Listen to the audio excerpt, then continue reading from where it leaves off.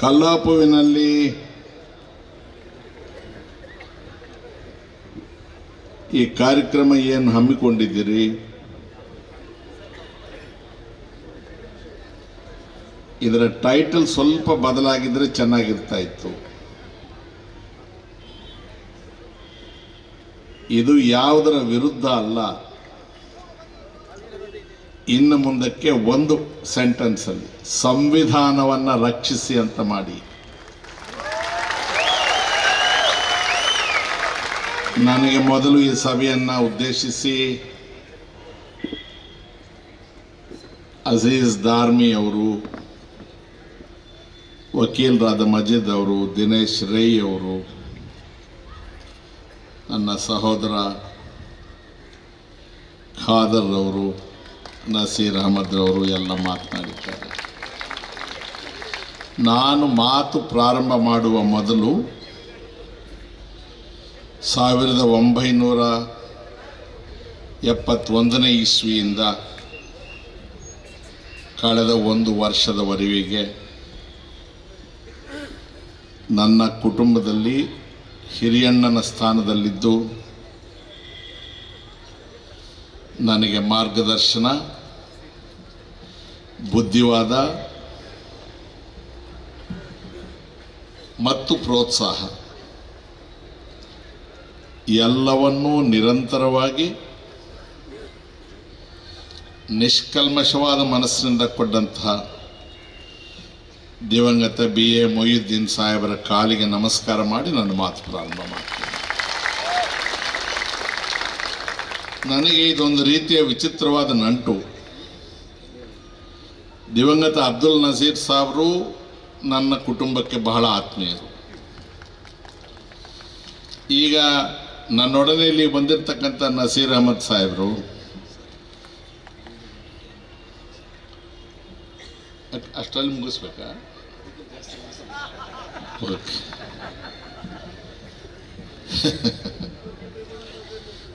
ವಿಷಯ ಎಷ್ಟು ಟೈಮ್ ತಗೊಳುತ್ತೋ ನನಗೇನು ಗೊತ್ತು.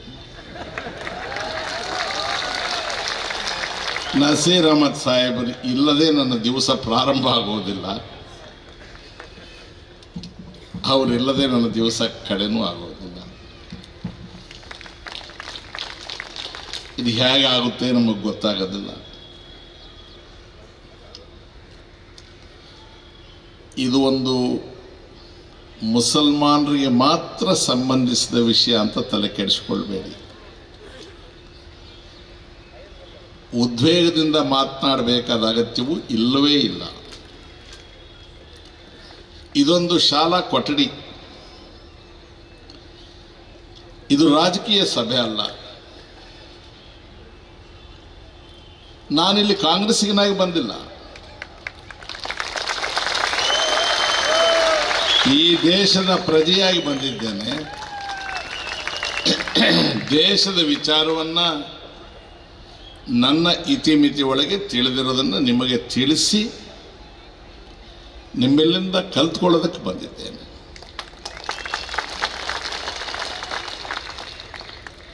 ಈ ದೇಶ ಯಾರೊಬ್ಬರದು ಅಲ್ಲ. ನಮ್ಮಷ್ಟು ಜನರದ್ದು ಈ ದೇಶ. ಮಾಧ್ಯಮದ ಗೆಳೆಯರು ಅವ್ರಿಗೆ ಎಲ್ಲಿ ಜಾಗ ಮಾಡಿದ್ದರೋ ಗೊತ್ತಿಲ್ಲ. ನಿಮ್ಮಲ್ಲಿ ಅತ್ಯಂತ ನಮ್ರತೆಯಿಂದ ವಿನಂತಿ ಮಾಡಿಕೊಳ್ತೇನೆ. ನಾನು ಎಲ್ಲ ಊರುಗಳಲ್ಲೂ ಈ ಮಾತನ್ನು ಹೇಳ್ತಾ ಇದ್ದೇನೆ, ಇಲ್ಲೂ ಪುನರುಚ್ಚಾರ ಮಾಡ್ತೇನೆ. ನಾನು ಆಡುವ ಎಲ್ಲ ಮಾತುಗಳಿಗೆ ನಾನು ಬದ್ಧನಾಗಿರುತ್ತೇನೆ. ಅಸಂಬದ್ಧವಾದದ್ದನ್ನು ಮಾತನಾಡುವುದಿಲ್ಲ. ವಿವೇಚನೆ ಇಲ್ಲದೆ ಮಾತನಾಡುವುದಿಲ್ಲ. ನಾನು ಹೇಳಿದ ಮಾತುಗಳನ್ನು ನಾನು ನಿರಾಕರಿಸುವುದಿಲ್ಲ.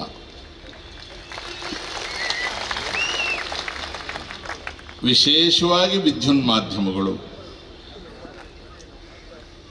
ಬಂಡವಾಳಶಾಹಿಗಳ ಹಂಗಿನಲ್ಲಿದೆ ಅನ್ನುವ ಸತ್ಯ ನಮ್ಮೆಲ್ಲರಿಗೂ ಗೊತ್ತಿದೆ. ಸತ್ಯ ನಿಮಗೆ ಗೊತ್ತಿದ್ದರೂ ಕೂಡ ಹೇಳುವ ಸ್ಥಿತಿಯಲ್ಲಿ ನೀವಿಲ್ಲ.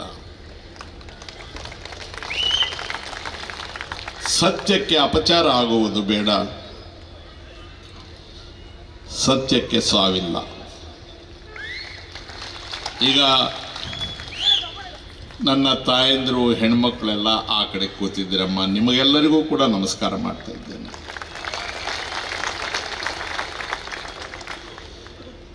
ಈಗ ಪ್ರಾರಂಭ. ಪ್ರಜಾಪ್ರಭುತ್ವ ಎಲ್ಲಿಂದ ಶುರುವಾಯಿತು ಈ ಪ್ರಪಂಚದಲ್ಲಿ?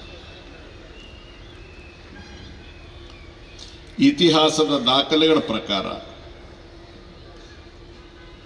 ಇದು ಐರೋಪ್ಯ ದೇಶಗಳಲ್ಲಿ ಮೊದಲು ಪ್ರಾರಂಭ ಆದದ್ದು. ರಾಜ ಮಹಾರಾಜರುಗಳಿದ್ದರು. ಭಾಷಾ ಸುಲ್ತಾನ್ಗಳಿದ್ದರು. ನವಾಬರಿದ್ದರು.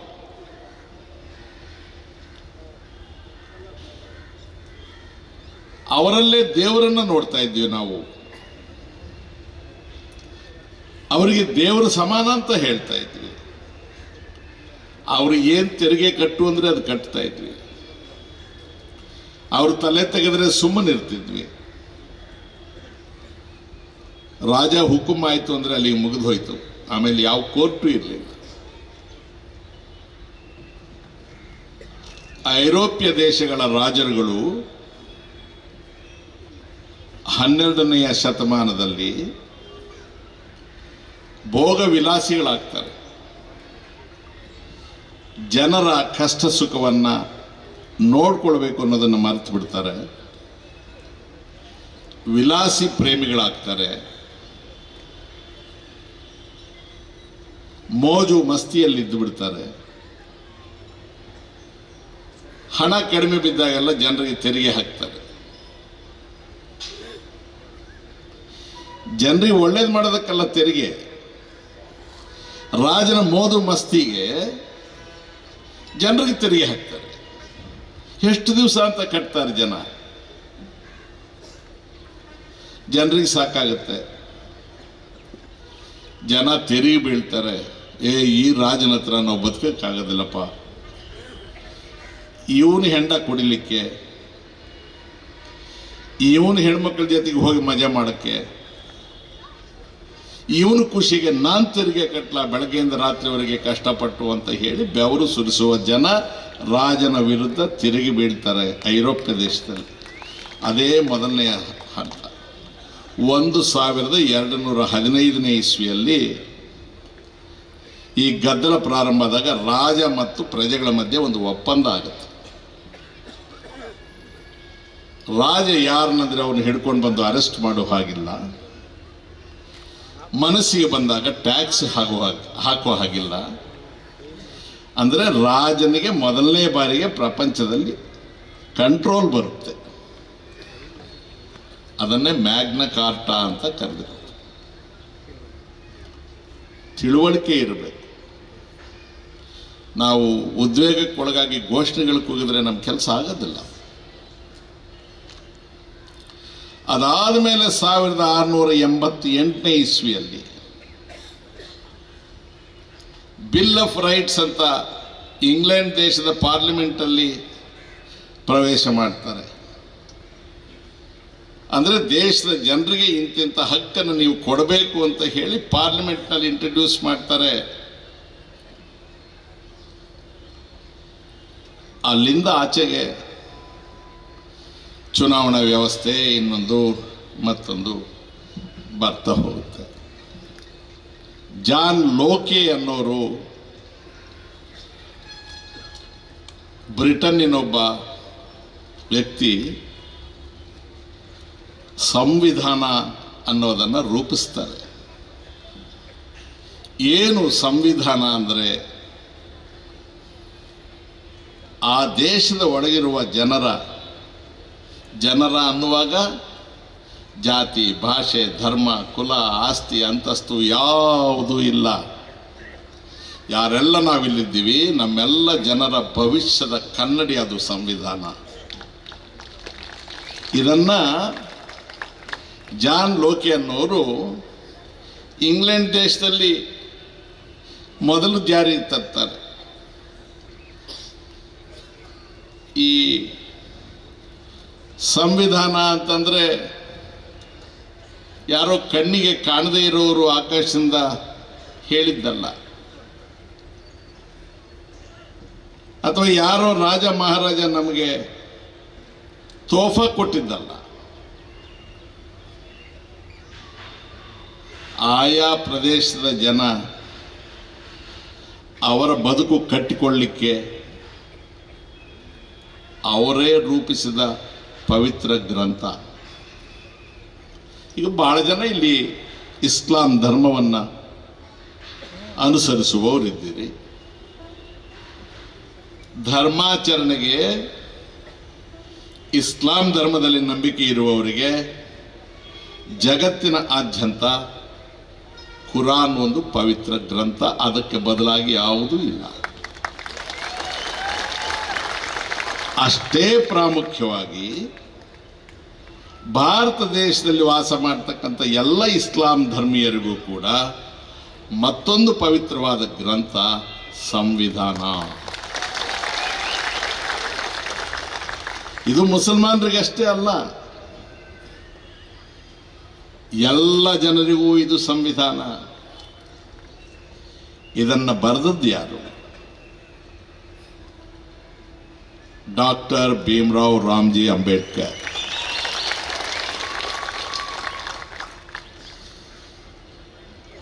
ಅದೆಲ್ಲ ಆಮೇಲೆ ಹೇಳ್ತೀನಿ. ಸಾವಿರದ ಏಳ್ನೂರ ಎಂಬತ್ತೇಳನೇ ಇಸ್ವಿ ವಿದ್ಯಾರ್ಥಿಗಳು ಬಹಳ ಜನ ಕಾಣ್ತಾ ಇದ್ದೀರಿ. ಫಿಲಡೆಲ್ಫಿಯಾ ಅನ್ನೋ ಊರಲ್ಲಿ ಅಮೇರಿಕ ದೇಶದಲ್ಲಿ ಸಂವಿಧಾನವನ್ನು ಹೇಗೆ ರಚಿಸ್ಕೋಬೇಕು ಅಮೇರಿಕ ಒಂದು ದೇಶ ಆಗಬೇಕು ಅಂತ ಚರ್ಚೆ ಮಾಡ್ತಾರೆ. ಅಲ್ಲಿ ಕರಡನ್ನೆಲ್ಲ ಆಖೇರುಗೊಳಿಸಿದ ಮೇಲೆ ಸಾವಿರದ ಏಳ್ನೂರ ಎಂಬತ್ತೊಂಬತ್ತನೇ ಇಸ್ವಿಯಲ್ಲಿ ಅಮೇರಿಕಾ ಸಂಯುಕ್ತ ಸಂಸ್ಥಾನ ಯುನೈಟೆಡ್ ಸ್ಟೇಟ್ಸ್ ಆಫ್ ಅಮೇರಿಕಾ ಅಸ್ತಿತ್ವಕ್ಕೆ ಬಂತು. ಸಾವಿರದ ಏಳ್ನೂರ ಎಂಬತ್ತೊಂಬತ್ತನೇ ಇಸ್ವಿಯ ಪೂರ್ವದಲ್ಲಿ ಅಮೇರಿಕಾ ಅನ್ನೋ ದೇಶವೇ ಇರಲಿಲ್ಲ. ಅಮೇರಿಕ ದೇಶ ಸಾವಿರದ ಏಳ್ನೂರ ಎಂಬತ್ತೊಂಬತ್ತರಲ್ಲಿ ಅಸ್ತಿತ್ವಕ್ಕೆ ಬಂದರೆ ಎರಡೇ ವರ್ಷಗಳಲ್ಲಿ ಸಾವಿರದ ಏಳ್ನೂರ ತೊಂಬತ್ತೊಂದರಲ್ಲಿ ಒಂದು ತಿದ್ದುಪಡಿಯನ್ನು ಮಾಡ್ತಾರೆ. ದಯಮಾಡಿ ಈ ತಿದ್ದುಪಡಿಯ ಬಗ್ಗೆ ಎಲ್ಲರೂ ಮತ್ತೊಂದು ಸಲ ಶ್ರದ್ಧೆಯಿಂದ ಕೇಳಿ.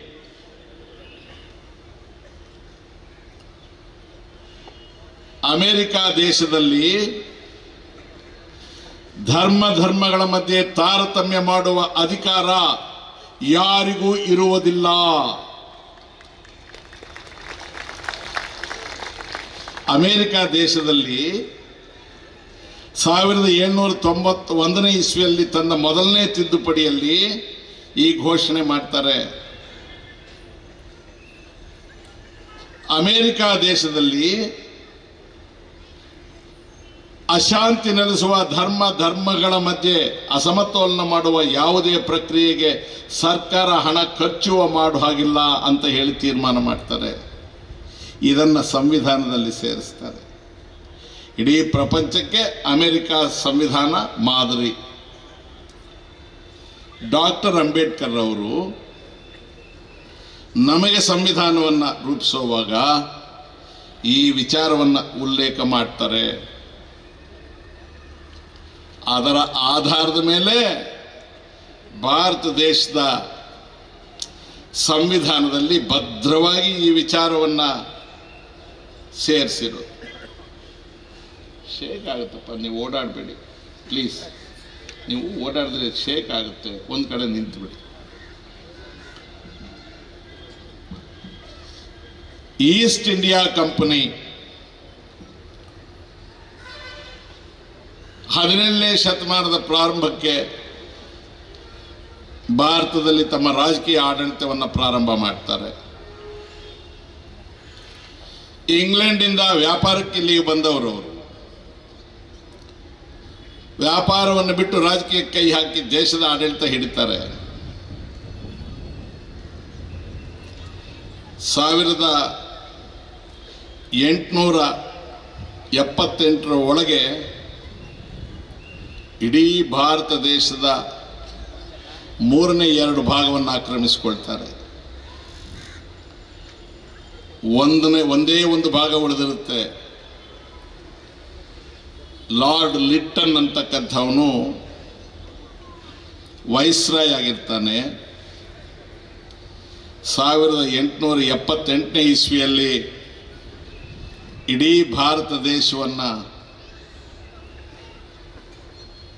ಸಾಮ್ರಾಜ್ಯಶಾಹಿನಿ.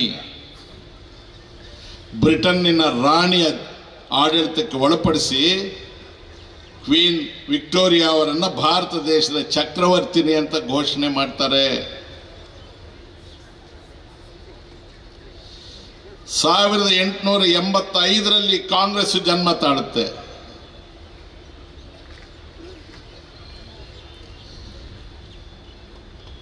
ಸಾವಿರದ ಎಂಟುನೂರ ಎಂಬತ್ತೈದು ಕಾಂಗ್ರೆಸ್ ಜನ್ಮ ತಾಳಿದ್ದು. ಯಾತಕ್ಕಾಗಿ? ಈ ದೇಶದ ಸ್ವಾತಂತ್ರ್ಯಕ್ಕಾಗಿ. ಈ ಕಾಂಗ್ರೆಸ್ಸಿಗೆ ಆ ಕಾಂಗ್ರೆಸ್ ಅನ್ನು ಹೋಲಿಕೆ ಮಾಡಬೇಡಿ. ಅದು ಬೇರೆ. ಅದು ದೇಶದ ಸ್ವಾತಂತ್ರ್ಯಕ್ಕಾಗಿ ಜನ್ಮ ತಾಳಿದ ಕಾಂಗ್ರೆಸ್ಸು. ನಾನು ಬಹಳ ನಿಷ್ಠೂರವಾಗಿ ಮಾತನಾಡ್ತಕ್ಕಂಥವನು. ಸಾವಿರದ ಎಂಟುನೂರ ಐವತ್ತೇಳರಲ್ಲಿ ಅಷ್ಟೊತ್ತಿಗಾಗಲೇ ಬ್ರಿಟಿಷರ ದಬ್ಬಾಳಿಕೆ ನಮ್ಮ ಮೇಲೆ ಜಾಸ್ತಿ ಆಗಿರುತ್ತೆ. ಜನ ಎಲ್ಲ ಪ್ರತಿರೋಧ ಮಾಡ್ತಾ ಇರ್ತಾರೆ. ಹಿಂದೂ ಮುಸ್ಲಿಂ ಅನ್ನೋ ಭೇದ ಭಾವನೆ ಇಲ್ಲ. ಮೊಘಲರ ಆಳ್ವಿಕೆಯಲ್ಲಿದ್ದ ಭಾಗದಲ್ಲೂ ಕೂಡ ತಿರುಗಿ ಬೀಳ್ತಾ ಇರ್ತಾರೆ. ಸಿಪಾಯಿ ಮ್ಯೂಟಿನಿ ಸೇನೆಯಲ್ಲಿದ್ದಂತಹ ಹಿಂದೂ ಮುಸಲ್ಮಾನ್ ಎಲ್ಲ ಸಿಪಾಯಿಗಳು ಕೂಡ ಬ್ರಿಟಿಷರ ಆಜ್ಞೆಯನ್ನು ಧಿಕ್ಕರಿಸಿ ಬ್ರಿಟಿಷ್ ಸೇ ಆಡಳಿತದ ವಿರುದ್ಧ ದಂಗೆ ಹೇಳ್ತಾರೆ.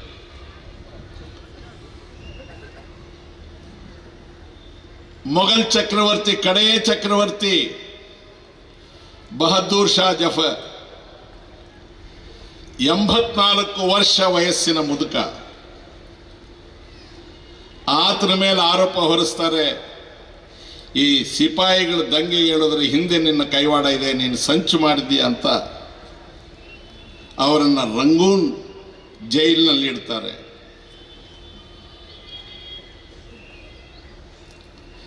ಐವತ್ತೇಳರ ಮೊದಲು ಉತ್ತರ ಪ್ರದೇಶದಲ್ಲಿ ಮೌಲಾನಾ ಶಹ ವಲಿಯುಲ್ಲಾ ಮೆಹದೀಸ್ ದೆಹಲ್ವಿ ಮೌಲಾನಾ ಅವರು ಬ್ರಿಟಿಷರ ವಿರುದ್ಧ ಹೋರಾಟಕ್ಕೆ ಕರೆ ಕೊಡ್ತಾರೆ. ಅವರ ನಂತರ ಅವರ ಮಗ ಮೌಲಾನಾ ಅಜೀಜ್ ಅವರು ಇನ್ನೂ ಒಂದು ಹೆಜ್ಜೆ ಮುಂದೆ ಹೋಗ್ತಾರೆ. ಬ್ರಿಟಿಷ್ ಭಾರತದಲ್ಲಿ ಮುಸಲ್ಮಾನನಾದವನ ಕರ್ತವ್ಯ. ಇದೊಂದು ಸಂಘರ್ಷ, ಜಹಾದ್ ಅಂತ ಹೋರಾಡಬೇಕು.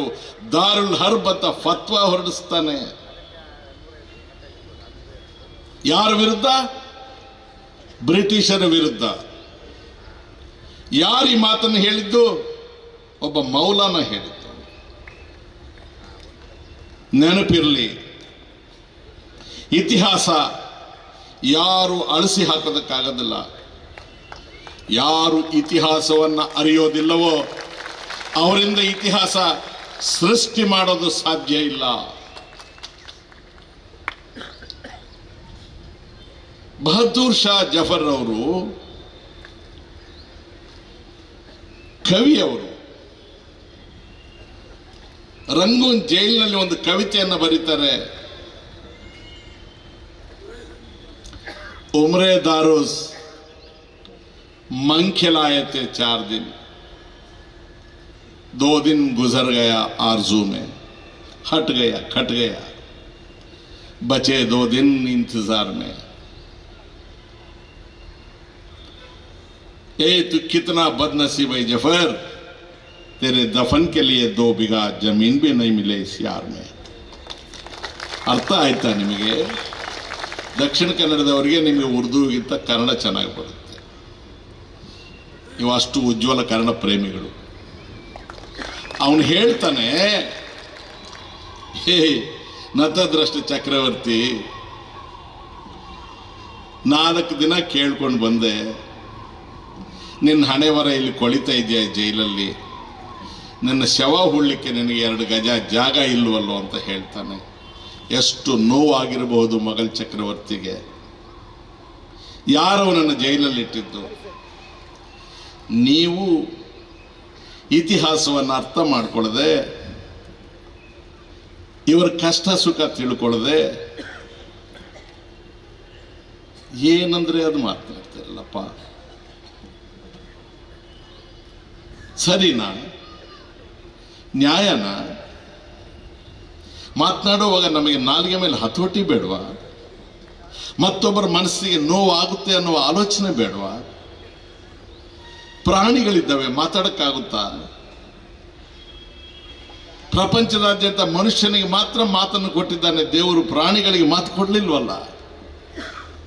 ಪ್ರಾಣಿಗಳಂತೆ ಮಾತನಾಡಿದರೆ ನೀವು ಪ್ರಾಣಿ ಆಗ್ತೀರಿ ಹೊರತು ಮನುಷ್ಯರಾಗೋದಿಲ್ಲ.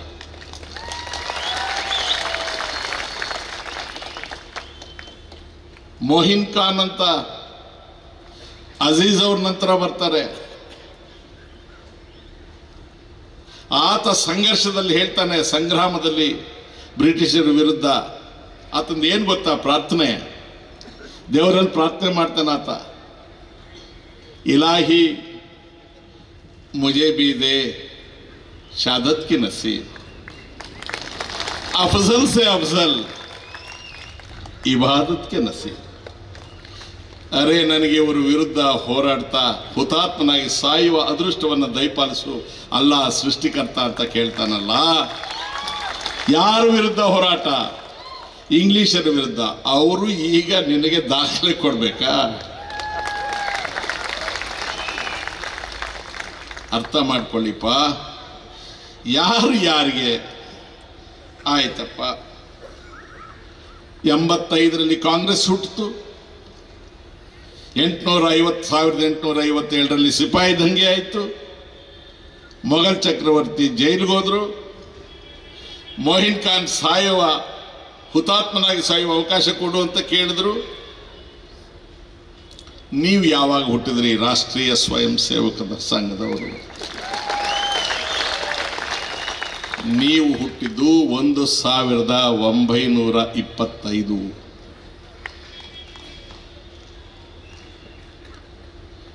ಗಾಂಧಿಯವರು ಸಾವಿರದ ಎಂಟುನೂರ ಅರವತ್ತೈದರಲ್ಲಿ ಹುಟ್ಟಿದ್ರು. ನೆಹರು ಅವರು ಸಾವಿರದ ಎಂಟುನೂರ ಎಂಬತ್ತೊಂಬತ್ತರಲ್ಲಿ ಹುಟ್ಟಿದ್ರು. ಅಂಬೇಡ್ಕರ್ ಅವರು ಸಾವಿರದ ಎಂಟುನೂರ ತೊಂಬತ್ತೊಂದರಲ್ಲಿ ಹುಟ್ಟಿದ್ರು. ಭಗತ್ ಸಿಂಗ್ ಅವರು ಸಾವಿರದ ಒಂಬೈನೂರ ಏಳರಲ್ಲಿ ಹುಟ್ಟಿದ್ರು. ಗೋಲ್ವಾಲ್ಕರ್ ಅವರೇ ಮಾಧವ ಸದಾಶಿವ ಗೋಲ್ಕಾಲ್, ಗೋಲ್ವಾಲ್ಕರ್ ಅವರೇ ಗುರೂಜಿಯವರೇ ನೀವು ಸಾವಿರದ ಒಂಬೈನೂರ ಆರರಲ್ಲಿ ಹುಟ್ಟಿದ್ರಿ. ನಿಮ್ಮೊಬ್ಬರನ್ನು ಬಿಟ್ಟು ಉಳಿದವರೆಲ್ಲರೂ ಕೂಡ ಇಂಗ್ಲಿಷರ ವಿರುದ್ಧ ಹೋರಾಡಿದರು. ನೀವು ಇಂಗ್ಲಿಷರ ವಿರುದ್ಧ ಮಾತನಾಡಿದ ದಾಖಲೆ ಎಲ್ಲೂ ಇತಿಹಾಸದಲ್ಲಿ ಇಲ್ಲ.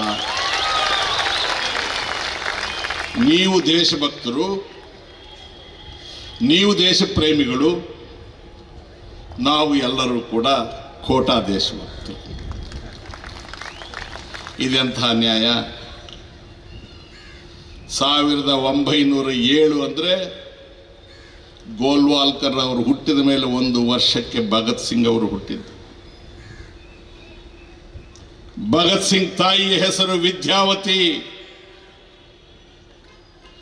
ತಂದೆಯ ಹೆಸರು ಕಿಶನ್ ಸಿಂಗ್.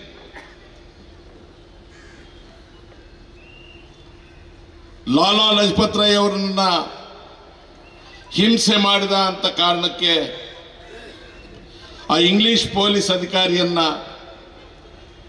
ಕೊಂದು ಬಿಡ್ತೇನೆ ಅಂತ ಸಿಟ್ನಲ್ಲಿ ಹೋಗ್ತಾನೆ ಭಗತ್ ಸಿಂಗ್.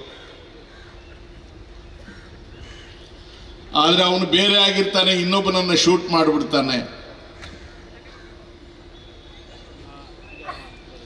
ಅವ್ರಿಗೆ ಕರ್ಕೊಂಡು ಬಂದು ಗಲ್ಲಿಗೆ ಏರಿಸಬೇಕು ಅಂತಾರೆ. ಗಲ್ಲಿಗೆ ಏರಿಸೋದು ಅಂದ್ರೆ ಕೇಳಿ ಹೇಳ್ತೇನೆ. ಇಲ್ಲಿ ಒಂದು ಸ್ಟೂಲ್ ನಿಲ್ಲಿಸ್ತಾರೆ. ಆ ಸ್ಟೂಲ್ ಮೇಲೆ ಭಗತ್ ಸಿಂಗ್ ಅನ್ನ ನಿಲ್ಲಿಸ್ತಾರೆ. ಮೇಲ್ಗಡೆಯಿಂದ ಹಗ್ಗ ಸೇರ್ತೀವಲ್ಲ ಬಾವಿಯಿಂದ ಹಾಗೆ ಹಗ್ಗ ಬಿಡ್ತಾರೆ. ಅದು ಕೊರಳಿಗೆ ಹಾಕ್ತಾರೆ ಪಾಸಿ. ಕಾಲಿಗೆ ಮರಳಿನ ಮೂಟೆ ಕಟ್ತಾರೆ. ಮರಳು ಮೂಟೆ ತೂಕ ಅಲ್ವಾ? ಮೇಲ್ಗಡೆಯಿಂದ ಹಗ್ಗ ಹಾಕಿ ಎಳಿತಾರೆ, ಕತ್ತು ಮೇಲಕ್ಕೆ ಎಳಿಯುತ್ತೆ, ಆ ಮರಳಿನ ಮೂಟೆ ಕೆಳಕ್ಕೆ ಎಳಿಯುತ್ತೆ, ಆವಾಗ ಪ್ರಾಣ ಹೋಗುತ್ತೆ. ಭಗತ್ ಸಿಂಗ್ ವಯಸ್ಸೆಷ್ಟು ಗೊತ್ತಾ? ಇಪ್ಪತ್ಮೂರು ವರ್ಷ. ಇಪ್ಪತ್ಮೂರು ವರ್ಷ ವಯಸ್ಸಿನ ಮಗ ಭಗತ್ ಸಿಂಗು ನಾಳೆ ಪ್ರಾತಃ ಕಾಲ ಎಂಟು ಗಂಟೆಗೆ ಗಲ್ಲಿಗೆ ಇರ್ತಾನೆ ಅಂದಾಗ ಹಿಂದಿನ ದಿವಸ ತಾಯಿ ಬಂದು ಕಣ್ಣೀರಿಡ್ತಾಳೆ. ತಾಯಿ ಅಲ್ವಾ? ಭಗತ್ ಸಿಂಗ್ ಹೇಳ್ತಾನೆ, ಅಮ್ಮ, ನೀನು ಅಳ್ತೀಯ? ನಗಬೇಕಮ್ಮ. ನನ್ನಂಥ ಮಗನನ್ನ ಜನ್ಮ ಕೊಟ್ಟಿದ್ದಕ್ಕೆ ನೀನು ಸಂತೋಷ ಪಡಬೇಕು. ಭಾರತ ತಾಯಿ ನನ್ನ ಹೆಮ್ಮೆಯ ಪುತ್ರಿ ಅಂತ ಕರೀತಾಳೆ. ಮರಳು ಮೂಟೆ ಎಳೆದು ಪ್ರಾಣ ಹೋಗುವಾಗ ಭಗತ್ ಸಿಂಗ್ ಎರಡೇ ಸ್ಲೋಗನ್ನು, ಇನ್ಕಿಲಾಬ್ ಜಿಂದಾಬಾದ್. ಇನ್ಕಿಲಾಬ್ ಇನ್ಕಿಲಾಬ್ ಇನ್ಕಿಲಾಬ್. ಕ್ರಾಂತಿ ಚಿರಾಯುವಾಗಲಿ. ಎರಡನೇ ಸ್ಲೋಗನ್ ಭಾರತ್ ಮಾತಾ ಕಿ, ಭಾರತ್ ಮಾತಾ ಕಿ. ಈ ಸ್ಲೋಗನ್ ಅನ್ನ ಭಗತ್ ಸಿಂಗ್ ತಾಯಿಯ ಮಳ್ಳಲ್ಲಿ ರಕ್ತ ಹರಿತಾ ಇದ್ರೆ ಆ ತಾಯಿಯ ಕಣ್ಣಿಂದ ರಕ್ತ ಹೊರಗೆ ಬರ್ತಾ ಇದ್ರೆ ಬಂದ ಭಾರತ್ ಮಾತಾ ಕಿ ಜೈಯನ್ನ ನೀವು ಕದ್ಕೊಂಡು ಹೋಗಿ ನಮಗೆ ಅಮರಿಸ್ತೀರಾ ಈಗ ಯಾರ ವಸ್ತು ಭಾರತ್ ಮಾತಾ ಕಿ ಜೈ? ಏನ್ ನಿಮಗೆ ಭಾರತ್ ಮಾತಾ ಕಿ ಜೈ ಅಂತ ಹೇಳುವ ಹಕ್ಕಾದ್ರೂ ಎಲ್ಲಿಂದ ಬರುತ್ತೆ ನಿಮಗೆ? ಸಾವಿರದ ಒಂಬೈನೂರ ಇಪ್ಪತ್ಮೂರರಲ್ಲಿ ನೀವು ಏಲಾನ್ ಮಾಡಿದ್ದೀರಿ. ಒಂದು ನೂರು ವರ್ಷದ ಒಳಗಾಗಿ ಭಾರತವನ್ನು ಹಿಂದೂ ರಾಷ್ಟ್ರವನ್ನಾಗಿ ಮಾಡ್ತೇವೆ. ಈಗ ಎರಡು ಸಾವಿರದ ಇಪ್ಪತ್ತು. ತೊಂಬತ್ತೇಳು ವರ್ಷ ಕಳೆದಿದೆ. ಅವರ ಪ್ರಯತ್ನ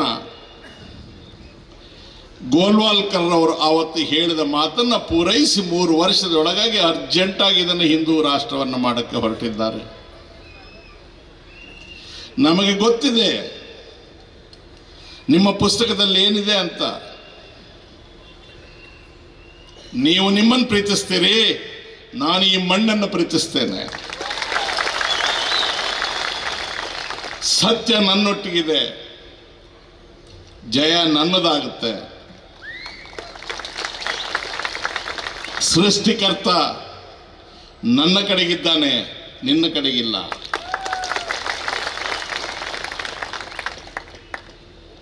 ಇವರು ಸ್ವಾತಂತ್ರ್ಯ ಸಂಗ್ರಾಮದಲ್ಲಿ ಭಾಗವಹಿಸಿದ ಪುರಾವೆಗಳು ಇವತ್ತಿಗೆ ಈ ದೇಶಕ್ಕೆ ಕೊಡಲಿಲ್ಲ. ಸಾವಿರದ ಎಂಟುನೂರ ತೊಂಬತ್ಮೂರನೇ ಇಸ್ವಿ ಸ್ವಾಮಿ ವಿವೇಕಾನಂದ ಅಮೆರಿಕ ದೇಶದ ಚಿಕಾಗೋನಲ್ಲಿ ಸೆಪ್ಟೆಂಬರ್ ತಿಂಗಳು ಹನ್ನೊಂದನೇ ತಾರೀಕು ಸಾವಿರದ ಎಂಟುನೂರ ತೊಂಬತ್ಮೂರು ದಯಮಾಡಿ ನೆನಪಿಟ್ಕೊಳ್ಳಿ ಯಂಗ್ಸ್ಟರ್ಸ್ ಪರ್ಟಿಕ್ಯುಲರ್ಲಿ ಸ್ಟೂಡೆಂಟ್ಸ್ ನೋಟ್ ಮಾಡ್ಕೊಳ್ಳಿ. ಆ ಭಾಷಣವನ್ನು ಯೂಟ್ಯೂಬ್ಗೆ ಕೇಳಿ. ಪ್ರಪಂಚದ ಎಲ್ಲ ಸಾಧು ಸಂತರಿಗೆ ನಮಸ್ಕರಿಸುತ್ತೇನೆ ಮದರ್ ಆಫ್ ಆಲ್ ರಿಲಿಜಿಯನ್ಸ್ ಎಲ್ಲ ಧರ್ಮಗಳ ಮೂಲ ತಾಯಿಗೆ ನಾನು ವಂದಿಸುತ್ತೇನೆ.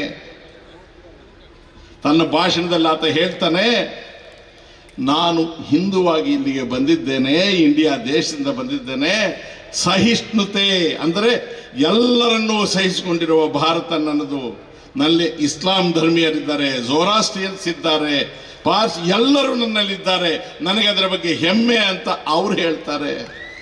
ಇವರು ವಿವೇಕಾನಂದನ ಫೋಟೋ ಹಾಕೊಂಡು ಹಿಂದೂ ಮುಂದು ಅಂತ ಇವರು ಹೊರಟಿದ್ದಾರೆ. ವಿವೇಕಾನಂದನಿಗೂ ಇವರಿಗೂ ಸಂಬಂಧವೇ ಇಲ್ಲ.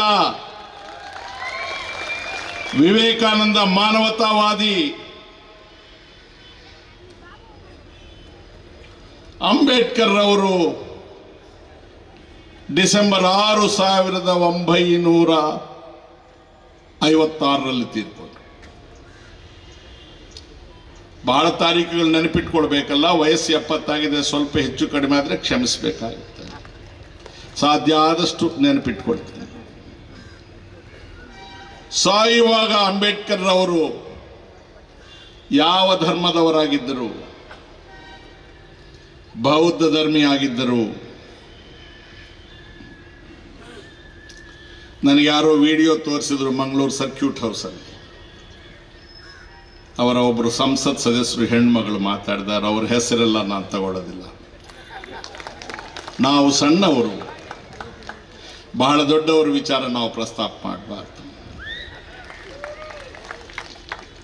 ಹಿಂದೂಗಳು ಹಿಂದೂಗಳು ಅಂತ ಹೇಳಿದ್ದಾರೆ ಅವರು.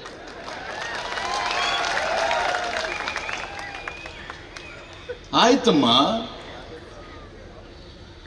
ಅಂಬೇಡ್ಕರ್ ಅಂತವರು ನಾನು ಹಿಂದುವಾಗಿ ಸಾಯುವುದಿಲ್ಲ ಅಂತ ಹೇಳಿ ಘೋಷಣೆ ಮಾಡ್ತಾರಲ್ಲ, ಯಾಕೆ ಅಂತ ಯೋಚನೆ ಮಾಡಿದಿರ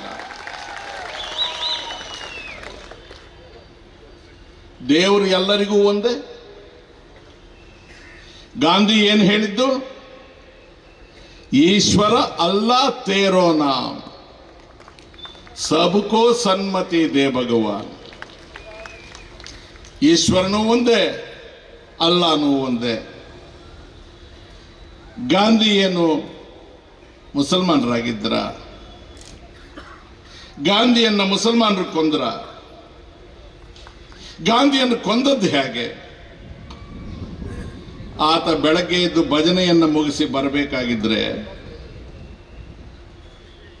ನಮಸ್ಕಾರ ಅಂತ ಹೀಗೆ ಬಗ್ಗಿ ನಮಸ್ಕಾರ ಮಾಡ್ತೀರಿ.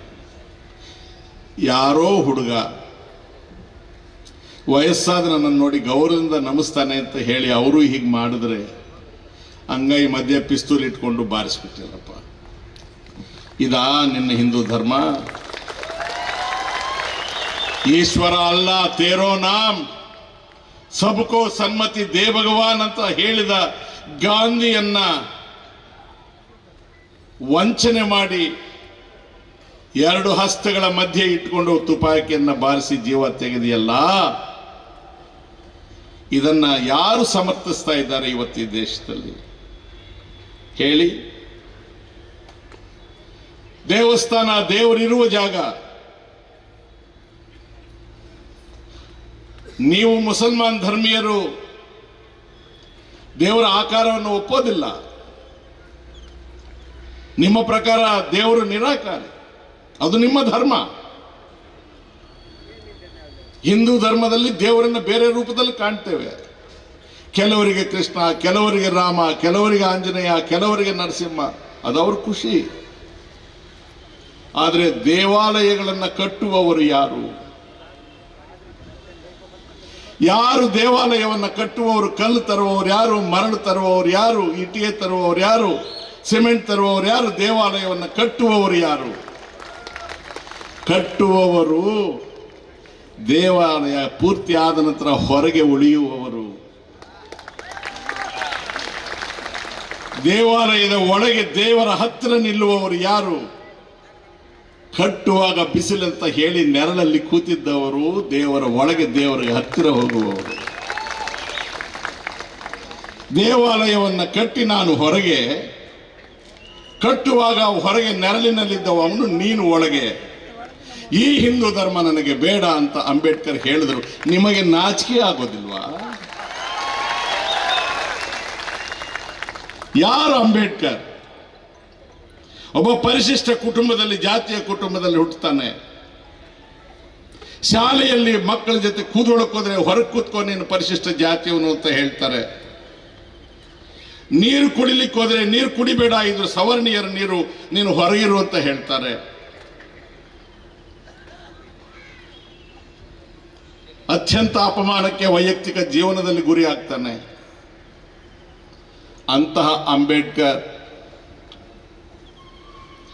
ಒಂದು ನೂರ ಮೂರು ವರ್ಷಗಳ ಕೆಳಗೆ ಅಂದರೆ ಒಂದು ಸಾವಿರದ ಒಂಬೈನೂರ ಹದಿನೇಳನೇ ಇಸ್ವಿಯಲ್ಲಿ ವಿಶ್ವದ ಪ್ರತಿಷ್ಠಿತ ಅಮೆರಿಕಾದ ಕೊಲಂಬಿಯಾ ಯೂನಿವರ್ಸಿಟಿಯಲ್ಲಿ ಡಾಕ್ಟರೇಟ್ ಪಡ್ಕೊಳ್ತಾರೆ. ಸಂವಿಧಾನ ರಚನಾ ಸಮಿತಿ ಸಭೆಯ ಸಂವಿಧಾನವನ್ನು ರಚನೆ ಮಾಡೋದಕ್ಕೆ ಕರಡು ಸಮಿತಿ ಏನ್ ಮಾಡ್ತಾರೆ? ಆ ಏಳು ಜನ ಸದಸ್ಯರು. Ambedkar K M Munshi Mohammad Saadulla K M Mitter, Khaitan, Alladi Krishnaswami Ayyar Gopalaswami ನಂತರ ಬಿ ಎನ್ ರಾವ್ ಅಂತ ಒಬ್ಬರು ಅಡ್ವೈಸರ್ ಇರ್ತಾರೆ. ರಾಧಾಕೃಷ್ಣನ್ ಇದ್ರು ರಾಜಗೋಪಾಲಾಚಾರಿ ಇದ್ರು. ರಂಗ ಇದ್ರು. ಬಹಳ ದೊಡ್ಡ ದೊಡ್ಡ ವಿದ್ವಾಂಸರೆಲ್ಲ ಇದ್ರು. ಆದರೆ ಅಂಬೇಡ್ಕರ್ ಅವರನ್ನೇ ನೀವು ಚೇರ್ಮನ್ ಆಗಿ ಅಂತ ಯಾಕೆ ಹೇಳಿದ್ರಿ?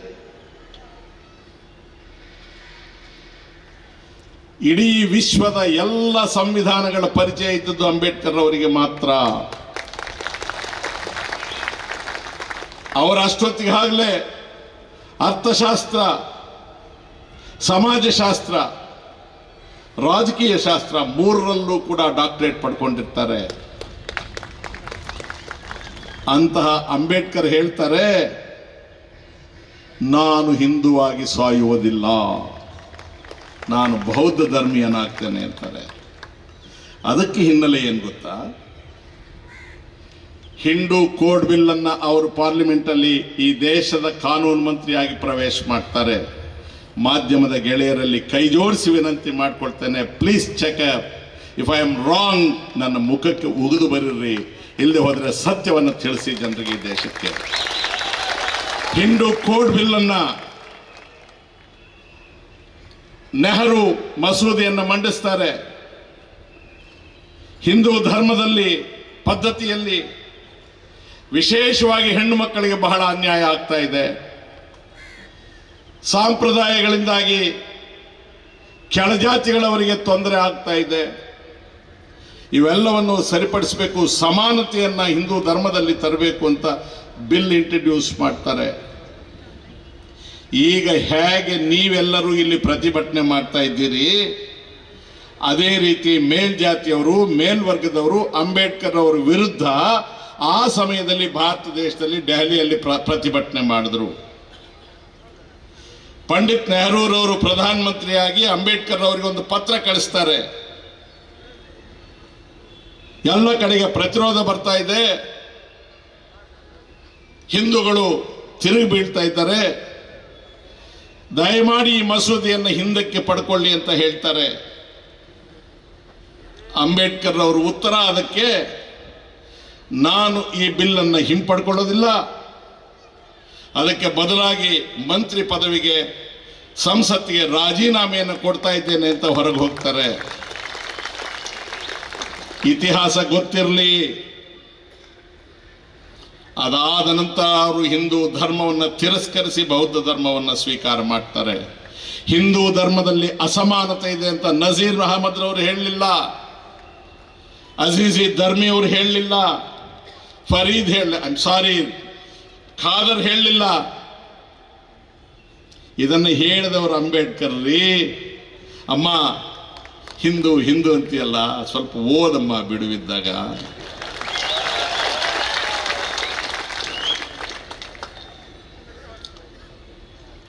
ಸ್ವಾತಂತ್ರ್ಯಕ್ಕೆ ಎರಡು ಮೂರು ಹಂತಗಳಾದ ಮೇಲೆ ಸಾವಿರದ ಒಂಬೈನೂರ ನಲವತ್ತಾರರಲ್ಲಿ ಸಂವಿಧಾನ ರಚನಾ ಸಮಿತಿ ಸಭೆ. ಪುನಃ ವಿನಂತಿ ಮಾಡ್ತೇನೆ, ಬೇಸರ ಮಾಡ್ಕೋಬೇಡಿ. ವಿದ್ಯಾರ್ಥಿಗಳಿದ್ರೆ ಡೇಟ್ಸ್ ಅನ್ನು ನೋಟ್ ಮಾಡ್ಕೊಳ್ಳಿ. ಹದಿಮೂರನೇ ತಾರೀಕು ಡಿಸೆಂಬರ್ ತಿಂಗಳು ಸಾವಿರದ ಒಂಬೈನೂರ ನಲವತ್ತಾರನೇ ಇಸ್ವಿ. ಸಂವಿಧಾನ ರಚನಾ ಸಮಿತಿಯ ಸಭೆಯಲ್ಲಿ ಪಂಡಿತ್ ನೆಹರು ಒಂದು ನಿರ್ಣಯವನ್ನು ಮಂಡಿಸ್ತಾರೆ. ನಮಗೆ ಸ್ವಾತಂತ್ರ್ಯ ಬಂದದ್ದು ನಲವತ್ತೇಳರ ಆಗಸ್ಟು ನಲವತ್ತಾರರಲ್ಲಿ ಈ ನಿರ್ಣಯ ಮಂಡಿಸ್ತಾರೆ Nehru. We declare India to be a sovereign republic ಅಂದ್ರೆ ಸಾರ್ವಭೌಮ ಗಣತಂತ್ರ ಎಂದು ನಾವು ಘೋಷಿಸಿಕೊಳ್ತೇವೆ ಅಂತ ಹೇಳಿ ನಿರ್ಣಯವನ್ನು ಮಂಡಿಸ್ತಾರೆ. ಮೂರು ವಾರಗಳ ಕಾಲ ಈ ನಿರ್ಣಯದ ಮೇಲೆ ಚರ್ಚೆ ಆಗುತ್ತೆ ಸಂವಿಧಾನ ರಚನಾ ಸಭೆಯಲ್ಲಿ. ರಾಧಾಕೃಷ್ಣನ್ರವರಿಂದ ಹಿಡಿದು ಸರ್ದಾರ್ ಪಟೇಲ್ರಿಂದ ಹಿಡಿದು ಪ್ರೊಫೆಸರ್ ರಂಗಾರವರಿಂದ ಹಿಡಿದು ಎಲ್ಲರೂ ಈ ನಿರ್ಣಯದ ಮೇಲೆ ಚರ್ಚೆ ಮಾಡ್ತಾರೆ. ಅಂಬೇಡ್ಕರ್ ಅವರು ಚರ್ಚೆಯಲ್ಲಿ ಭಾಗವಹಿಸ್ತಾರೆ. ಶ್ಯಾಮ ಪ್ರಸಾದ್ ಮುಖರ್ಜಿ, ಪಶ್ಚಿಮ ಬಂಗಾಳದಿಂದ ಸಂವಿಧಾನ ರಚನಾ ಸಮಿತಿಯ ಸಭೆಗೆ ಆಯ್ಕೆಯಾಗಿದ್ದ ನಂತರದ ದಿನಗಳಲ್ಲಿ ಭಾರತೀಯ ಜನಸಂಘವನ್ನು ಸಾವಿರದ ಒಂಬೈನೂರ ಐವತ್ತ ಒಂದರಲ್ಲಿ ಸ್ಥಾಪನೆ ಮಾಡಿದಂಥ ಶ್ಯಾಮ ಪ್ರಸಾದ್ ಮುಖರ್ಜಿಯವರು ಈ ನಿರ್ಣಯದ ಮೇಲೆ ಡಿಸೆಂಬರ್ ಹದಿನೇಳು ಸಾವಿರದ ಒಂಬೈನೂರ ನಲವತ್ತಾರರಂದು ಸಂವಿಧಾನ ರಚನಾ ಸಮಿತಿಯ ಸಭೆಯಲ್ಲಿ ಮಾತನಾಡಿದ್ದಾರೆ. ಅಂಬೇಡ್ಕರ್ ಹೇಳ್ತಾರೆ, ನೆಹರೂರವರಿಗೆ ಸಮಾಜವಾದ, ಪ್ರಿಯವಾದದ್ದು ಅವರು ಸಮಾಜವಾದಿ, ಅದನ್ನು ಸೇರಿಸ್ತಾರೆ ಅಂತ ಬಯಸಿದ್ದೆ, ಸೇರಿಸಿಲ್ಲ. ಸೇರಿಸಿದ್ರೆ ಚೆನ್ನಾಗಿರ್ತಾ ಇತ್ತು. ಮುಸ್ಲಿಂ ಲೀಗ್ ಸಹೋದರರು ಇವತ್ತು ಸಭೆಗೆ ಬಂದಿಲ್ಲ. ಇಂದಲ್ಲ ನಾಳೆ ಅವ್ರ ಮನಸ್ಸು ಪರಿವರ್ತನೆ ಆಗುತ್ತೆ. ಇಂದು ಏನಾಗುತ್ತೆ ಅದು ನಮಗೆ ಮುಖ್ಯ. ನಾಳೆ ಏನೋ ಆಗೋದು ಮುಖ್ಯ ಅಲ್ಲ. ವಿಧ ವಿಧವಾದಂತಹ ಜಾತಿ ಸಮುದಾಯಗಳಿಗೆ, ಧರ್ಮಗಳಿಗೆ ಸೇರಿದ ದೇಶ ಇದು. ಎಲ್ಲ ಧರ್ಮಗಳ ಜನರನ್ನು ಒಟ್ಟುಗೂಡಿಸಿಕೊಂಡು ಹೋದರೆ ಈ ದೇಶ ಒಂದು ಬಲಾಢ್ಯ ಭಾರತ ಆಗುತ್ತೆ ಅನ್ನೋ ಮಾತನ್ನ ಅಂಬೇಡ್ಕರ್ ಅವರು ಹೇಳಿದ್ದಾರೆ. ತಾನು ಪರಿಶಿಷ್ಟ ಜಾತಿಯವನು ಅಂತ ಗೊತ್ತಿದ್ದು, ಅಸ್ಪೃಶ್ಯತೆಯಿಂದ ತನ್ನ ಸಮಾಜಕ್ಕೆ ಅಪಮಾನ ಆಗಿದೆ ಅಂತ ಗೊತ್ತಿದ್ದು ಕುಡಿಯುವ ನೀರಿಗೂ ತನಗೆ ಅವಕಾಶ ಕೊಡ್ತಾ ಇರಲಿಲ್ಲ ಅನ್ನೋ ನೋವು ಅಗ್ನಿ ಪರ್ವತದಂತೆ ತನ್ನ ಹೃದಯದ ಒಳಗೆ ದಹಿದಹಿಸ್ತಾ ಇದ್ರೂ ಕೂಡ ಅದೆಲ್ಲವನ್ನು ಮರೆತು ಈ ದೇಶದ ಹಿತಕ್ಕಾಗಿ ಆ ಮಾತನ್ನು ಅವ್ರು ಹೇಳ್ತಾರೆ. ಶ್ಯಾಮ ಪ್ರಸಾದ್ ಮುಖರ್ಜಿ ಅವರು ಹೇಳ್ತಾರೆ, ಈ ಜಾತಿ ಆ ಜಾತಿ ಅನ್ನುವ ಪ್ರಶ್ನೆ ಇಲ್ಲ, ಈ ಧರ್ಮ ಆ ಧರ್ಮ ಅನ್ನುವ ಪ್ರಶ್ನೆ ಇಲ್ಲ, ಹೆಣ್ಣು ಗಂಡು ಅನ್ನುವ ಪ್ರಶ್ನೆ ಇಲ್ಲ. ಬಲಾಢ್ಯ ಭಾರತ ಕಟ್ಟಬೇಕಾಗಿದ್ರೆ ನಾವೆಲ್ಲರೂ ಒಗ್ಗಟ್ಟಾಗಿರಬೇಕು ಅನ್ನುವ ಮಾತನ್ನು ನಾನು ಹೇಳಿದ್ದಲ್ಲ, ನೀವು ಹೇಳಿದ್ದಲ್ಲ, ನಿಮ್ಮ ಪಕ್ಷವನ್ನು ಹುಟ್ಟುಹಾಕಿದ ಶ್ಯಾಮ್ ಪ್ರಸಾದ್ ಮುಖರ್ಜಿ ಅವರು ಹೇಳಿದ್ದಾರೆ. ದಯಮಾಡಿ ಸಂವಿಧಾನ ರಚನಾ ಸಮಿತಿ ಸಭೆಯ ಕಲಾಪಗಳನ್ನು ಡಿಸೆಂಬರ್ ಹದಿನೇಳು ಸಾವಿರದ ಒಂಬೈನೂರ ನಲವತ್ತಾರರಲ್ಲಿ ತೆಗೆದು ನೋಡಿ. ನಿಮಗೆ ನಿಮ್ಮ ಮನೆಯಲ್ಲಿ ದೊಡ್ಡವರು ಹೇಳಿದ ಮಾತಿಗೂ ಗೌರವ ಇಲ್ವಾ? ನನ್ನ ಮಾತು ಕೇಳಬೇಡಿ. ಸೋನಿಯಾ ಗಾಂಧಿ ಅವ್ರ ಮಾತು ಕೇಳಬೇಡಿ, ಅವರು ಕಾಂಗ್ರೆಸ್ನವರಲ್ವ? ಅಖಿಲೇಶ್ ಮಾತು ಕೇಳಬೇಡಿ, ಆತ ಸ್ವ ಸಮಾಜವಾದಿ ಪಾರ್ಟಿ. ಮಾಯಾವತಿ ಮಾತು ಕೇಳಬೇಡಿ. ಕಮ್ಯುನಿಸ್ಟ್ ಮಾತು ಕೇಳಬೇಡಿ. ನಿಮ್ಮ ಪಕ್ಷದವರೇ, ನಿಮ್ಮ ಪಕ್ಷವನ್ನು ಸ್ಥಾಪನೆ ಮಾಡಿದ ಶ್ಯಾಮ್ ಪ್ರಸಾದ್ ಮುಖರ್ಜಿ ಅವರದ್ದಾದ್ರೂ ಓದಿ ನೋಡ್ರಿ.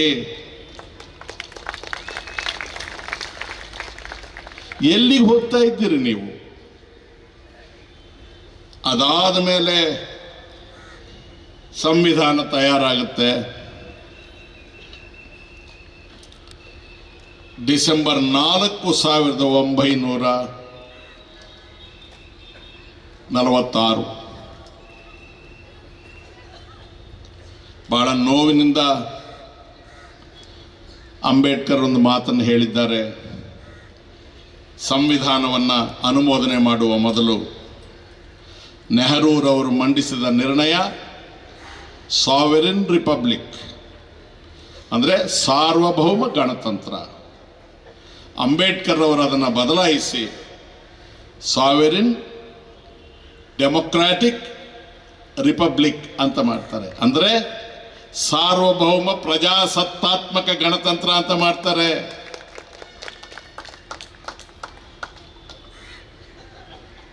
ಸಾವಿರದ ಒಂಬೈನೂರ ಎಪ್ಪತ್ತಾರರಲ್ಲಿ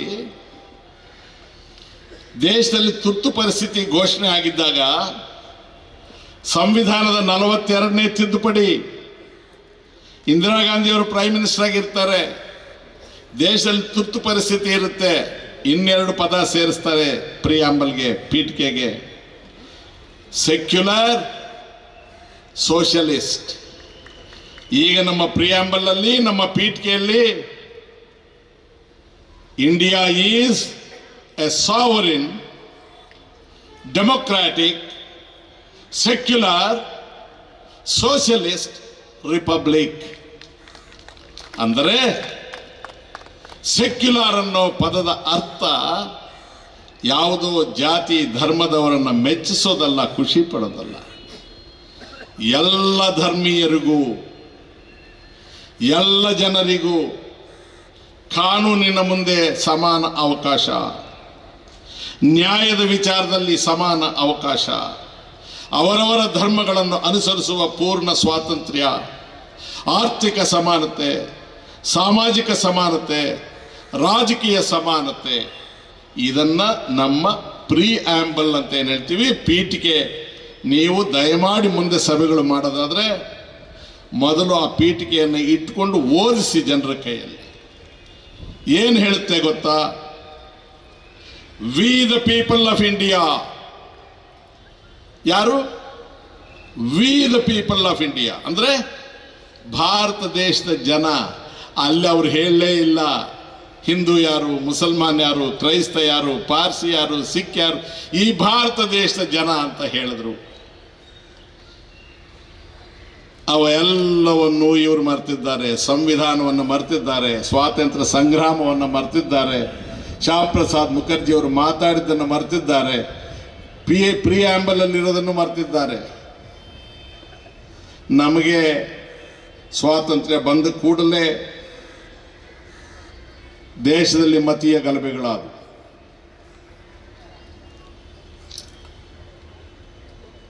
ವಿಪರೀತವಾದಂತಹ ಹಿಂಸೆ. ಅಂದಿನವರೆಗೂ ಅಣ್ಣ ತಮ್ಮಂದರಾಗಿ ಒಂದು ತಟ್ಟೆಯಲ್ಲಿ ಉಣ್ತಾ ಇದ್ದವರು ಒಂದು ಲೋಟ ನೀರನ್ನು ಹಂಚಿಕೊಂಡು ಕುಡಿತಾ ಇದ್ದಂಥವರೆಲ್ಲ ಕೆಲವರು ತಟ್ಟೆ, ಮೂಟೆ ಕಟ್ಕೊಂಡು ಆ ಕಡೆಗೆ ಹೊರಟರು, ಕೆಲವರು ಅಲ್ಲಿಂದ ಈ ಕಡೆಗೆ ಬಂದರು. ಭಾರತ ಮಾತೆಯ ಹೃದಯವನ್ನು ಸೀಳು ಬಿಟ್ಟರು ಪಾಕಿಸ್ತಾನ, ಹಿಂದೂಸ್ತಾನ ಅಂತ ಹೇಳಿ. ರಕ್ತ ಬೀದಿ ಬೀದಿಯಲ್ಲಿ ಹರಿದೋಯ್ತು.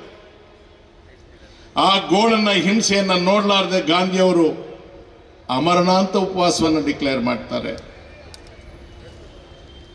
ಆಗ ಕೆಲವರು ಇಲ್ಲಿಂದ ಅಲ್ಲಿಗೆ ವಲಸೆ, ಕೆಲವರು ಅಲ್ಲಿಂದ ಇಲ್ಲಿಗೆ ವಲಸೆ ಬಂದರು. ಯಾರು ಭಾರತದ ಜನ ಅಂತ ನಿರ್ಣಯಿಸಬೇಕಾಗಿತ್ತು? ಇದು ಬಹಳ ಗಹನವಾದ ವಿಚಾರ. ದಯಮಾಡಿ ವಿಶೇಷವಾಗಿ ವಿದ್ಯಾರ್ಥಿಗಳು ಗಮನಿಸ್ಕೋಬೇಕು, ಯುವಕರು ಗಮನಿಸ್ಕೋಬೇಕು ವಾಲಂಟಿಯರ್ಸ್ ಆಗಿರೋರು ಗಮನಿಸ್ಕೋಬೇಕು. ದೇಶ ಇಬ್ಬಾಗ ವಲಸೆ ಹೋಗುವವರು, ವಲಸೆ ಬರುವವರು, ದೇಶದಲ್ಲಿ ಮೊದಲನೇ ಚುನಾವಣೆ ಆಗಬೇಕು, ಜನಗಣತಿ ಆಗುತ್ತೆ. ಸಾವಿರದ ಒಂಬೈನೂರ ಐವತ್ತನೇ ಇಸ್ವಿಯಲ್ಲಿ ಮೊದಲನೇ ಜನಗಣತಿ. ಜನಗಣತಿ ಆದಮೇಲೆ ಜನಗಣತಿ ಅಂದ್ರೆ ಸೆನ್ಸಸ್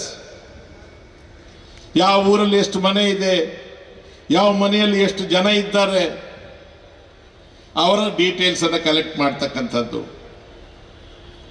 ಜನಗಣತಿಯನ್ನು ಪೂರೈಸಿದ ಮೇಲೆ ಕೆಲವರು ನೆಹರು ಅವ್ರಿಗೆ ಹೋಗಿ ಹೇಳ್ತಾರೆ, ಬಹಳ ಜನ ವಲಸಿಗರು, ಈಶಾನ್ಯ ಭಾರತದಲ್ಲಿ ಗುಡ್ಡಗಾಡು ಜನ ಬಿಟ್ಟು ಹೋಗಿದ್ದಾರೆ ಅವನ್ನೆಲ್ಲ ಸೇರಿಸಬೇಕು ಅಂದರೆ ನೆಹರೂರವರು ಚುನಾವಣೆ ಮಾಡುವ ಆತರದಲ್ಲಿ ತಪ್ಪಾಗಿರಬಹುದು. ಪುನಃ ಮತ್ತೊಮ್ಮೆ ನಾನು ಆದೇಶ ಮಾಡ್ತೇನೆ ಅಂತಾರೆ. ಸುಮಾರು ಒಂಬತ್ತು ಕೋಟಿಗೂ ಮೇಲ್ಪಟ್ಟ ಜನ ಆವತ್ತು ಸೆನ್ಸಸ್ ಇಂದ ಬಿಟ್ಟು ಹೋಗಿರ್ತಾರೆ. ಆ ಒಂಬತ್ತು ಕೋಟಿ ಜನರ ಪೈಕಿ ಎರಡು ಪರ್ಸೆಂಟ್ ಕೂಡ ಮುಸಲ್ಮಾನರಿಲ್ಲ, ಎಲ್ಲ ಹಿಂದೂಗಳೇ ಬಿಟ್ಟು ಹೋಗಿರೋದು. ಎಲ್ಲ ಗುಡ್ಡಗಾಡು ಜನ ಬಿಟ್ಟು ಹೋಗಿರೋದು. ಅಮೇರಿಕಾ ದೇಶದಲ್ಲಿ, ಬ್ರಿಟನ್ನಲ್ಲಿ ಬೇರೆ ಬೇರೆ ಪದ್ಧತಿ. ಅಮೆರಿಕಾದಲ್ಲಿ ಯಾರು ಅಲ್ಲಿ ಹುಟ್ಟಿದ್ರೆ ಅವರಿಗೆ ಪೌರತ್ವ? ಬ್ರಿಟನ್ನಲ್ಲಿ ರಕ್ತ ಸಂಬಂಧದಿಂದ ಪೌರತ್ವ. ಆದರೆ ಭಾರತ ದೇಶದಲ್ಲಿ ಈ ಇಬ್ಬಾಗ ಆಗಿ ಇಲ್ಲಿ ಹುಟ್ಟಿದವರು ಅಲ್ಲಿ ಹೊರಟೋದ್ರು, ಅಲ್ಲಿ ಹುಟ್ಟಿದವರು ಇಲ್ಲಿಗೆ ಬಂದರು. ಆದ್ದರಿಂದ ಹುಟ್ಟುವಿಕೆಯಿಂದ ರಕ್ತ ಸಂಬಂಧದ ಎರಡನ್ನೂ ಆಧರಿಸಿ ಕೊಡಬೇಕು ಅಂತ ಹೇಳಿ ಸಾವಿರದ ಒಂಬೈನೂರ ಐವತ್ತೈದನೇ ಇಸ್ವಿಯಲ್ಲಿ ಪೌರತ್ವ ಕಾಯ್ದೆ ಜಾರಿಗೆ ಬಂತು. ಈ ಪೌರತ್ವ ಕಾಯ್ದೆಯಲ್ಲಿ ಇತಿಹಾಸ ನೋಡಿ ಪ್ರ ಪ್ರಜಾಪ್ರಭುತ್ವದಿಂದ ಪ್ರಾರಂಭ ಮಾಡಿ ಇಲ್ಲಿಗೆ ಬಂದಿದ್ದೇನೆ. ನಾನಿದನ್ನು ರಾಜಕೀಯ ಉಪನ್ಯಾಸ ಅಂತ ಮಾಡ್ತಾ ಇಲ್ಲ, ಜನರಿಗೆ ತಿಳುವಳಿಕೆ ಕೊಡೋದು ಅಂತ. ನಾವು ಹೇಳೋದ್ರಲ್ಲಿ ಐದು ಭಾಗ ನೀವು ತಿಳ್ಕೊಂಡ್ರೂ ಕೂಡ ನನಗೆ ಎಷ್ಟೋ ಸಮಾಧಾನ ಆಗುತ್ತೆ. ನಾನು ಈ ಕೆಲಸವನ್ನು ಮಾಡಬೇಕಾದ್ರೆ ದಿನಗಟ್ಟಲೆ ನಾನು ರಿಸರ್ಚ್ ಮಾಡಿ ಮಾಡ್ಕೊಂಡು ಬಂದಿರ್ತೇನೆ. ಸಾವಿರದ ಒಂಬೈನೂರ ಐವತ್ತೈದರ ಭಾರತೀಯ ಪೌರತ್ವ ಕಾಯ್ದೆ ಏನು ಹೇಳುತ್ತೆ ಅಂದರೆ, ಈ ದೇಶದ ಜನರಿಗೆ ಹನ್ನೊಂದು ವರ್ಷ ಈ ಭೂಮಿಯಲ್ಲಿ ಕಳೆದಿದ್ರೆ ಅವರಿಗೆ ಈ ದೇಶದ ಪೌರತ್ವ ನೀಡಬೇಕು ಅಂತ ಹೇಳಿದೆ. ಈ ಜಾತಿ, ಆ ಜಾತಿ, ಈ ಧರ್ಮ, ಆ ಧರ್ಮ ಅಂತ ಏನು ಮಾಡಿಲ್ಲ. ಈಗ ಪೌರತ್ವ ಕಾಯ್ದೆಯ ತಿದ್ದುಪಡಿ citizenship act C A citizenship amendment act C A A ಅರ್ಥ ಮಾಡಿಕೊಳ್ಳಿ.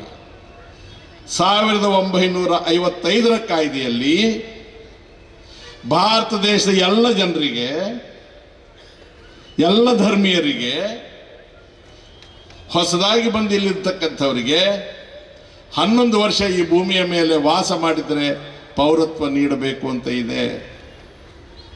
ಯಾರು ಬರ್ತಾರೆ ಈ ದೇಶಕ್ಕೆ? ನಿರಾಶ್ರಿತರು ಬರ್ತಾರೆ. ಯಾರಿಗೆ ಇಲ್ಲಿ ಆಶ್ರಯ ಇರೋದಿಲ್ವೋ, ಬದುಕಲಿಕ್ಕೆ ಆಗೋದಿಲ್ವೋ, ಇಲ್ಲಿ ಬದುಕಬಹುದು ಅಂತ ಬರ್ತಾರೆ. ನಮ್ಮ ಮಕ್ಕಳಿಗೆ ಅಮೆರಿಕಕ್ಕೆ ಹೋಗಿಲ್ವಾ? ದುಬೈನಲ್ಲಿಲ್ವಾ? ಆಸ್ಟ್ರೇಲಿಯಾದಲ್ಲಿಲ್ವಾ? ಇಂಗ್ಲೆಂಡಲ್ಲಿಲ್ವಾ? ಹಾಗೆ ಇಲ್ಲಿಗೂ ಜನ ಬರ್ತಾರೆ. ಈ ಮಹಾನುಭಾವರಿಬ್ಬರು ಸನ್ಮಾನ್ಯ ಮೋದಿಯವರು ಸನ್ಮಾನ್ಯ ಶಾರ್ ಅವರು. ಇವರ ಪ್ರಯತ್ನ ಏನು ಅಂದರೆ, ಮುಸಲ್ಮಾನರ ಹೊರತಾಗಿ ಉಳಿದವರಿಗೆ ಐದು ವರ್ಷ, ಮುಸಲ್ಮಾನರಿಗೆ ಹನ್ನೊಂದು ವರ್ಷ. ಇದನ್ನ ನಮ್ಮ ಸಂವಿಧಾನ ಗೌರವಿಸುವುದಿಲ್ಲ, ಒಪ್ಪುವುದಿಲ್ಲ, ಸಂವಿಧಾನ ಇದಕ್ಕೆ ವಿರುದ್ಧ. ಇಲ್ಲಿಂದನೇ ಬಹಳ ಮುಖ್ಯ. ಸಂಸತ್ತು ಸಂವಿಧಾನದ ಅನುಚ್ಛೇದದ ಮೇರೆಗೆ ಸೃಷ್ಟಿಯಾದದ್ದು. Parliament is a creation of the constitution ಸಂಸತ್ತಿಗೆ ಸಂವಿಧಾನದ ವಿರುದ್ಧ ಶಾಸನವನ್ನು ಮಾಡುವ ಅಧಿಕಾರ ಇಲ್ಲ. The parliament cannot pass a law which against the ideals of the constitution ನೀವು ನೆನಪಿಟ್ಕೊಳ್ಳಿ, ದಯಮಾಡಿ. ಮಾತುಕತೆಗೆ ಬರ್ತಾರೆ, ಚರ್ಚೆ ಮಾಡ್ತಾರೆ. ನೀವು ಹನ್ನೊಂದು ವರ್ಷ, ಐದು ವರ್ಷ ಅಂತ ಹೇಳಿ ಎರಡು ವರ್ಗಗಳಾಗಿ ವಿಂಗಡಿಸಿದಾಗ ಧರ್ಮಾಧಾರಿತವಾಗಿ ಪಕ್ಷಪಾತ ಮಾಡಿದಿರಿ ತಾರತಮ್ಯ ಮಾಡಿದಿರಿ ಇದು ಸಂವಿಧಾನ ವಿರೋಧಿ. ಇದನ್ನು ನಾವು ವಿರೋಧಿಸ್ತೇವೆ. ನೀವು ಚುನಾವಣೆಯ ಪೂರ್ವದಲ್ಲಿ ದೇಶದ ಜನರ ಮುಂದೆ ಈ ವಿಚಾರವನ್ನು ಪ್ರಸ್ತಾಪ ಮಾಡಲಿಲ್ಲ. ಚುನಾವಣೆಯ ಪೂರ್ವದಲ್ಲಿ ಈ ವಿಚಾರವನ್ನು ಹೇಳಿದ್ದಿದ್ರೆ, ಅದರ ಮೇಲೆ ಮತ ಪಡೆದಿದ್ರೆ ಬೇರೆ ವಿಷಯ ಆಗ್ತಾ ಇತ್ತು. ನೀವು ಚುನಾವಣೆಯಲ್ಲಿ ಮಾಧ್ಯಮಗಳ ಮುಖಾಂತರ ಹೇಳಿದ್ದು ಪುಲ್ವಾಮಾ ವಿಚಾರ. ನಂತರ ರಘುನಂದನ್ ವಿಚಾರ. ಈಗ ನೀವು ಇಲ್ಲಿಗೆ ಬಂದಿದ್ದೀರಿ. ಯಾರಿಗಾದ್ರೂ ನಿಮ್ಗೆ ಒಳ್ಳೆ ಸಿನಿಮಾ ತೋರಿಸ್ತಾರೆ ಅಂತಂದ್ರೆ ಗೌರವಸ್ಥರು ಹೋಗಿ ನೋಡ್ತೀರಿ. ನೀವು ಸಿನಿಮಾ ಒಳಗೆ ಹೋದ್ರೆ, ಅಲ್ಲಿ ಬ್ಲೂ ಫಿಲ್ಮ್ ಹಾಕಿದ್ರೆ ಯಾರು ಕೂತ್ಕೊಳ್ತಾರೆ? ಲುಚ್ಚಾಗಳು ಕೂತ್ಕೊಳ್ತಾರೆ. ಕೆಲವರು ಯುವಕರು ಬುದ್ಧಿ ಇಲ್ದವ್ರು ಕೂತ್ಕೊಳ್ತಾರೆ. ಯಾವ ಗೌರವಸ್ಥ ಕುಟುಂಬದವರು ಅಲ್ಲಿ ಬ್ಲೂ ಫಿಲ್ಮ್ ನೋಡೋದಕ್ಕೆ ಕೂತ್ಕೊಳ್ಳೋದಿಲ್ಲ. ಜನರ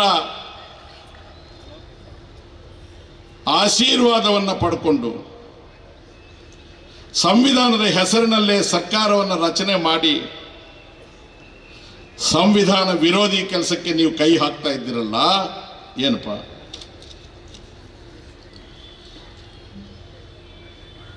ಯಾಕೆ?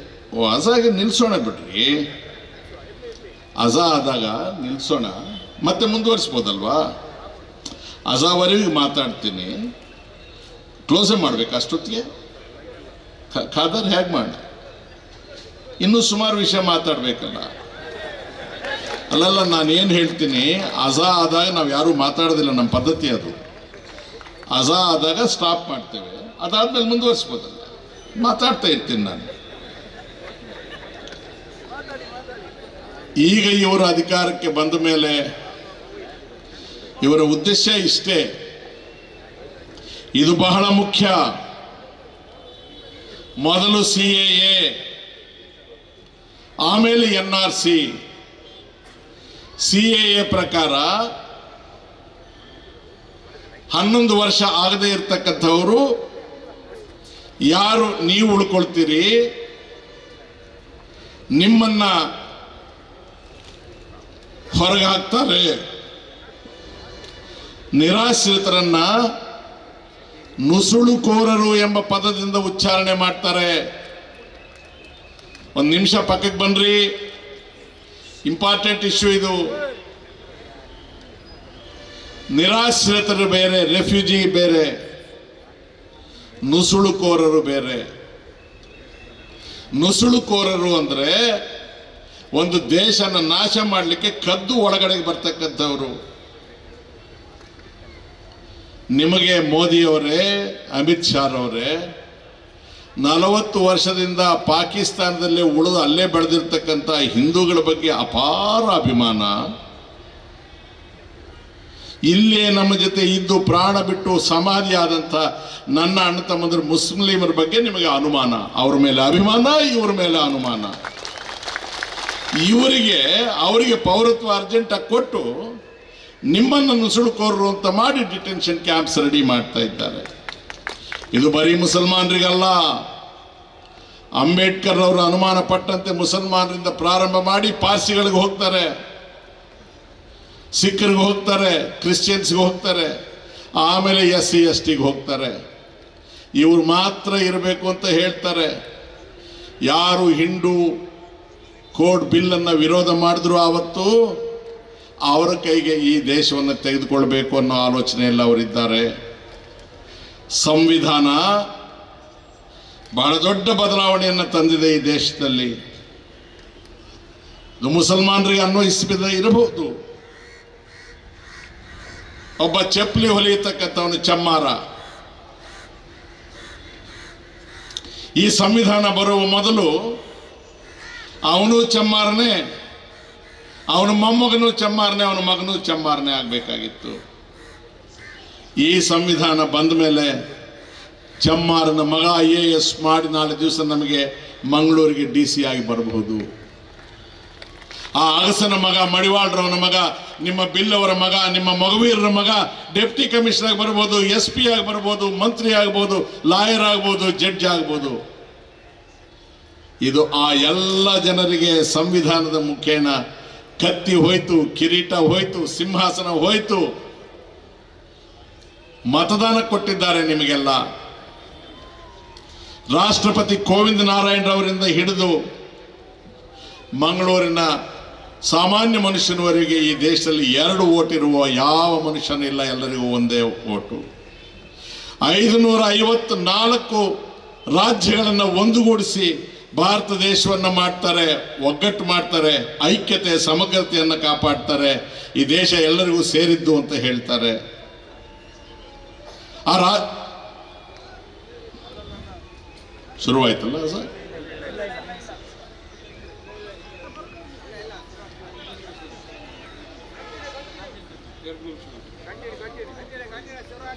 ಬಹಳ ಅನ್ಯಾಯ ಆಗುತ್ತೆ. ಯಾರಿಗೆ ಚಾತುರ್ವರ್ಣ ಪದ್ಧತಿಯನ್ನು ಮಾಡಿದ್ರು? ಬ್ರಾಹ್ಮಣರ ಮೇಲ್ಗಡೆ, ಇಟ್ಟಿಗೆಯ ಗೋಡೆ ಮೇಲೆ. ಬ್ರಾಹ್ಮಣರ ಕೆಳಗೆ ಅವರಿಗೆ ರಕ್ಷಣೆ ಕೊಡಲಿಕ್ಕೆ ಕ್ಷತ್ರಿಯರು. ಕ್ಷತ್ರಿಯರ ಕೆಳಗೆ ವೈಶ್ಯ. ವ್ಯಾಪಾರ ಮಾಡಲಿಕ್ಕೆ ದುಡ್ಡು ಹೊಂದಿಸ್ಲಿಕ್ಕೆ ಅಡ್ಜಸ್ಟ್ ಮಾಡೋದಕ್ಕೆ. ಅವನ ಕೆಳಗೆ ಶೂದ್ರ. ಹೊಲದಲ್ಲಿ ದುಡಿಯೋನು, ಊಟ ತಂದು ಹಾಕೋನೊಬ್ಬ ಬೇಕಲ್ಲ. ಇನ್ನೊಂದು ವರ್ಗನ ಬಿಟ್ಟೇ ಬಿಟ್ರು. ನಾನು ಹೇಳಿದ ನಾಲ್ಕೇ ವರ್ಗ, ಬ್ರಾಹ್ಮಣ, ಕ್ಷತ್ರಿಯ, ವೈಶ್ಯ, ಶೂದ್ರ. ಇನ್ನೊಂದು ಜಾತಿ ಯಾರು ಅಂದರೆ ಪಂಚಮರು, ಪರಿಶಿಷ್ಟ ಜಾತಿಯವರು, ಪರಿಶಿಷ್ಟ ಪಂಗಡದವರು. ಇವರನ್ನ ಊರು ಹೊರಗಿಟ್ರು. ಸೂರ್ಯಾಸ್ತಮಾನ ಆದಮೇಲೆ ಅವ್ರ ಮುಖ ನೋಡ್ತಾ ಇರಲಿಲ್ಲ. ಅವರನ್ನು ಮುಟ್ತಾ ಇರಲಿಲ್ಲ. ಅವರು ಊರು ಒಳಗೆ ಬರೋ ಹಾಗಿಲ್ಲ. ಔಟ್ಕಾಸ್ಟ್ ಅಂತ ಕರಿತಾ ಇದ್ರು ಅವರಿಗೆ. ಇದನ್ನು ಯಾರು ಮಹಮ್ಮದ್ ಪೈಗಂಬರ್ ಮಾಡಿದ್ರ, ಜೀಸಸ್ ಕ್ರೈಸ್ಟ್ ಮಾಡಿದ್ರ, ಸ್ವಾಮಿ ವಿವೇಕಾನಂದ ಮಾಡಿದ್ರ. ಐವತ್ತೈದರ ಭಾರತೀಯ ಪೌರತ್ವ ಕಾಯ್ದೆ ಏನು ಹೇಳುತ್ತೆ ಅಂದರೆ, ಈ ದೇಶದ ಜನರಿಗೆ ಹನ್ನೊಂದು ವರ್ಷ ಈ ಭೂಮಿಯಲ್ಲಿ ಕಳೆದಿದ್ರೆ ಅವರಿಗೆ ಈ ದೇಶದ ಪೌರತ್ವ ನೀಡಬೇಕು ಅಂತ ಹೇಳಿದೆ. ಈ ಜಾತಿ, ಆ ಜಾತಿ, ಈ ಧರ್ಮ, ಆ ಧರ್ಮ ಅಂತ ಏನು ಮಾಡಿಲ್ಲ. ಈಗ ಪೌರತ್ವ ಕಾಯ್ದೆಯ ತಿದ್ದುಪಡಿ. Citizenship act C A citizenship amendment act C A A ಅರ್ಥ ಮಾಡಿಕೊಳ್ಳಿ.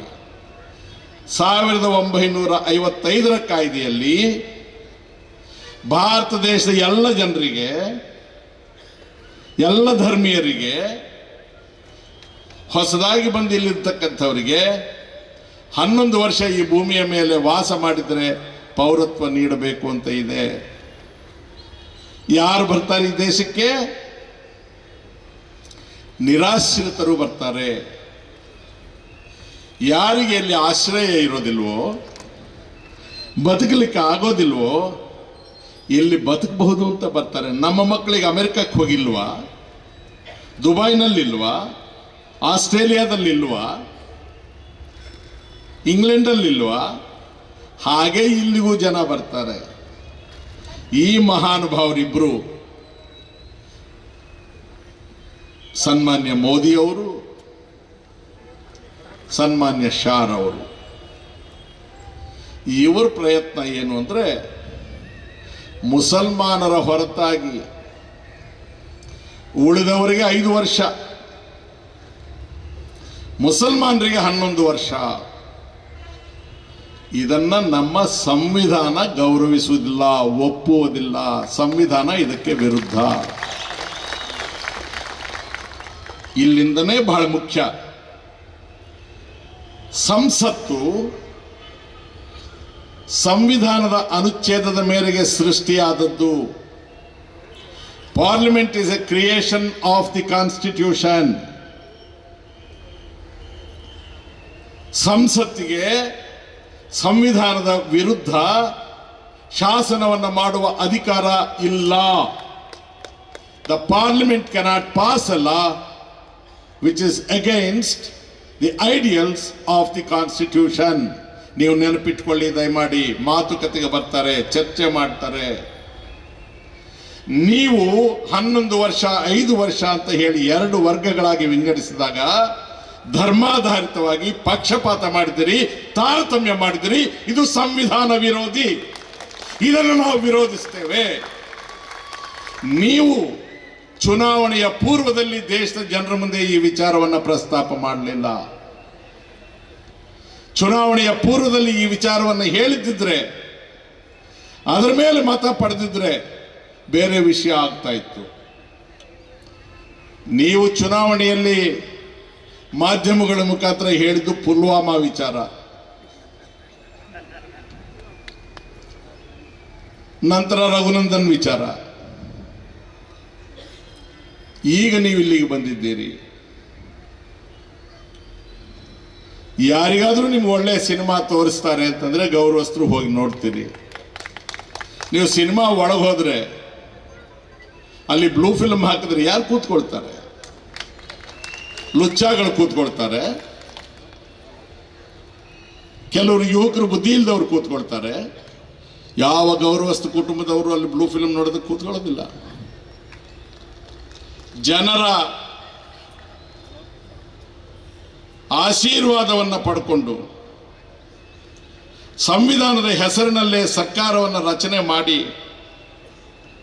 ಸಂವಿಧಾನ ವಿರೋಧಿ ಕೆಲಸಕ್ಕೆ ನೀವು ಕೈ ಹಾಕ್ತಾ ಇದ್ದೀರಲ್ಲ, ಏನಪ್ಪ?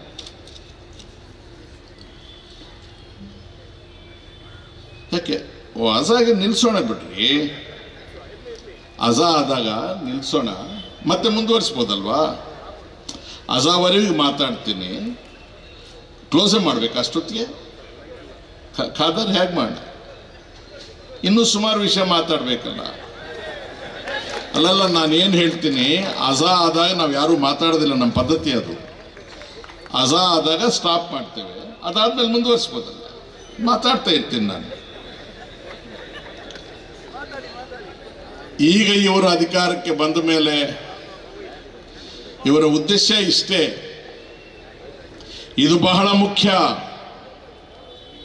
ಮೊದಲು ಸಿ ಎ ಆಮೇಲೆ N R C. C A ಪ್ರಕಾರ ಹನ್ನೊಂದು ವರ್ಷ ಆಗದೇ ಇರತಕ್ಕಂಥವರು ಯಾರು ನೀವು ಉಳ್ಕೊಳ್ತೀರಿ? ನಿಮ್ಮನ್ನ ಹೊರಗೆ ಹಾಕ್ತಾರೆ ನಿರಾಶ್ರಿತರನ್ನ ನುಸುಳುಕೋರರು ಎಂಬ ಪದದಿಂದ ಉಚ್ಚಾರಣೆ ಮಾಡ್ತಾರೆ. ಒಂದು ನಿಮಿಷ ಪಕ್ಕಕ್ಕೆ ಬನ್ರಿ. ಇಂಪಾರ್ಟೆಂಟ್ ಇಶ್ಯೂ ಇದು. ನಿರಾಶ್ರಿತರು ಬೇರೆ, ರೆಫ್ಯೂಜಿ ಬೇರೆ, ನುಸುಳುಕೋರರು ಬೇರೆ. ನುಸುಳುಕೋರರು ಅಂದ್ರೆ ಒಂದು ದೇಶನ ನಾಶ ಮಾಡಲಿಕ್ಕೆ ಕದ್ದು ಒಳಗಡೆಗೆ ಬರ್ತಕ್ಕಂಥವ್ರು. ನಿಮಗೆ ಮೋದಿಯವರೇ, ಅಮಿತ್ ಶಾರವರೇ, ನಲವತ್ತು ವರ್ಷದಿಂದ ಪಾಕಿಸ್ತಾನದಲ್ಲಿ ಉಳಿದು ಅಲ್ಲೇ ಬೆಳೆದಿರ್ತಕ್ಕಂಥ ಹಿಂದೂಗಳ ಬಗ್ಗೆ ಅಪಾರ ಅಭಿಮಾನ. ಇಲ್ಲೇ ನಮ್ಮ ಜೊತೆ ಇದ್ದು ಪ್ರಾಣ ಬಿಟ್ಟು ಸಮಾಧಿ ಆದಂಥ ನನ್ನ ಅಣ್ಣ ತಮ್ಮಂದ್ರ ಮುಸ್ಲಿಮರ ಬಗ್ಗೆ ನಿಮಗೆ ಅನುಮಾನ. ಅವ್ರ ಮೇಲೆ ಅಭಿಮಾನ, ಇವ್ರ ಮೇಲೆ ಅನುಮಾನ. ಇವರಿಗೆ ಅವರಿಗೆ ಪೌರತ್ವ ಅರ್ಜೆಂಟಾಗಿ ಕೊಟ್ಟು ನಿಮ್ಮನ್ನು ನುಸುಳುಕೋರರು ಅಂತ ಮಾಡಿ ಡಿಟೆನ್ಷನ್ ಕ್ಯಾಂಪ್ಸ್ ರೆಡಿ ಮಾಡ್ತಾ ಇದ್ದಾರೆ. ಇದು ಬರೀ ಮುಸಲ್ಮಾನರಿಗಲ್ಲ. ಅಂಬೇಡ್ಕರ್ ಅವರು ಅನುಮಾನ ಪಟ್ಟಂತೆ ಮುಸಲ್ಮಾನರಿಂದ ಪ್ರಾರಂಭ ಮಾಡಿ ಪಾರ್ಸಿಗಳಿಗೆ ಹೋಗ್ತಾರೆ. ಸಿಖ್ರಿಗೆ ಹೋಗ್ತಾರೆ, ಕ್ರಿಶ್ಚಿಯನ್ಸ್ಗೆ ಹೋಗ್ತಾರೆ, ಆಮೇಲೆ ಎಸ್ ಸಿ, ಎಸ್ ಟಿಗೆ ಹೋಗ್ತಾರೆ. ಇವರು ಮಾತ್ರ ಇರಬೇಕು ಅಂತ ಹೇಳ್ತಾರೆ. ಯಾರು ಹಿಂಡು ಕೋಡ್ ಬಿಲ್ಲನ್ನು ವಿರೋಧ ಮಾಡಿದ್ರು ಆವತ್ತು, ಅವರ ಕೈಗೆ ಈ ದೇಶವನ್ನು ತೆಗೆದುಕೊಳ್ಬೇಕು ಅನ್ನೋ ಆಲೋಚನೆಯಲ್ಲಿ ಅವರಿದ್ದಾರೆ. ಸಂವಿಧಾನ ಬಹಳ ದೊಡ್ಡ ಬದಲಾವಣೆಯನ್ನು ತಂದಿದೆ ಈ ದೇಶದಲ್ಲಿ. ಮುಸಲ್ಮಾನರಿಗೆ ಅನ್ವಯಿಸಿದ ಇರಬಹುದು. ಒಬ್ಬ ಚಪ್ಪಲಿ ಹೊಲಿಯತಕ್ಕಂಥವನು ಚಮ್ಮಾರ. ಈ ಸಂವಿಧಾನ ಬರುವ ಮೊದಲು ಅವನು ಚಮ್ಮಾರನೇ, ಅವನ ಮೊಮ್ಮಗನು ಚಮ್ಮಾರನೇ, ಅವನ ಮಗನೂ ಚಮ್ಮಾರನೇ ಆಗಬೇಕಾಗಿತ್ತು. ಈ ಸಂವಿಧಾನ ಬಂದ ಮೇಲೆ ಚಮ್ಮಾರನ ಮಗ ಐ ಎ ಎಸ್ ಮಾಡಿ ನಾಳೆ ದಿವಸ ನಮಗೆ ಮಂಗಳೂರಿಗೆ ಡಿ ಸಿ ಆಗಿ ಬರಬಹುದು. ಆ ಅಗಸನ ಮಗ, ಮಡಿವಾಳ್ರವನ ಮಗ, ನಿಮ್ಮ ಬಿಲ್ಲವರ ಮಗ, ನಿಮ್ಮ ಮಗುವೀರರ ಮಗ, ಡೆಪ್ಟಿ ಕಮಿಷನರ್ ಬರ್ಬೋದು ಎಸ್ ಪಿ ಆಗಿ ಬರ್ಬೋದು ಮಂತ್ರಿ ಆಗ್ಬೋದು ಲಾಯರ್ ಆಗ್ಬೋದು ಜಡ್ಜ್ ಆಗ್ಬೋದು ಇದು ಆ ಎಲ್ಲ ಜನರಿಗೆ ಸಂವಿಧಾನದ ಮುಖೇನ. ಕತ್ತಿ ಹೋಯ್ತು, ಕಿರೀಟ ಹೋಯ್ತು, ಸಿಂಹಾಸನ ಹೋಯ್ತು. ಮತದಾನ ಕೊಟ್ಟಿದ್ದಾರೆ ನಿಮಗೆಲ್ಲ. ರಾಷ್ಟ್ರಪತಿ ಕೋವಿಂದ ನಾರಾಯಣರವರಿಂದ ಹಿಡಿದು ಮಂಗಳೂರಿನ ಸಾಮಾನ್ಯ ಮನುಷ್ಯನವರೆಗೆ ಈ ದೇಶದಲ್ಲಿ ಎರಡು ಓಟ್ ಇರುವ ಯಾವ ಮನುಷ್ಯನಿಲ್ಲ, ಎಲ್ಲರಿಗೂ ಒಂದೇ ಓಟು. ಐದುನೂರ ಐವತ್ತು ನಾಲ್ಕು ರಾಜ್ಯಗಳನ್ನು ಒಂದುಗೂಡಿಸಿ ಭಾರತ ದೇಶವನ್ನು ಮಾಡ್ತಾರೆ, ಒಗ್ಗಟ್ಟು ಮಾಡ್ತಾರೆ, ಐಕ್ಯತೆ, ಸಮಗ್ರತೆಯನ್ನು ಕಾಪಾಡ್ತಾರೆ, ಈ ದೇಶ ಎಲ್ಲರಿಗೂ ಸೇರಿದ್ದು ಅಂತ ಹೇಳ್ತಾರೆ. ಆ ರಾ, ಶುರುವಾಯ್ತಲ್ಲ ಸರ್?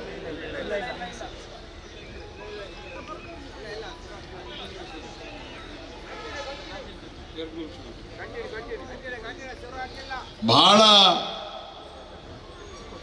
ಅನ್ಯಾಯ ಆಗುತ್ತೆ.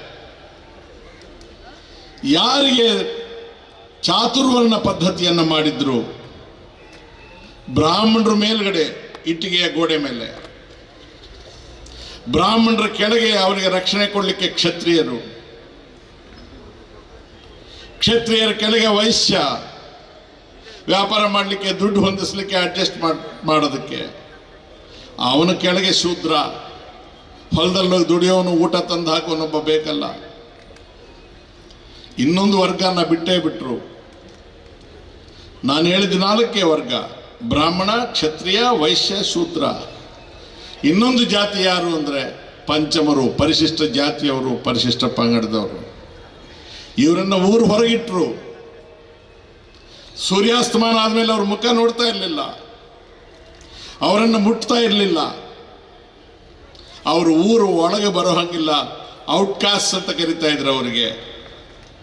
ಇದನ್ನು ಯಾರು ಮಹಮ್ಮದ್ ಪೈಗಂಬರ್ ಮಾಡಿದ್ರ? ಜೀಸಸ್ ಕ್ರೈಸ್ಟ್ ಮಾಡಿದ್ರ? ಸ್ವಾಮಿ ವಿವೇಕಾನಂದ ಮಾಡಿದ್ರ?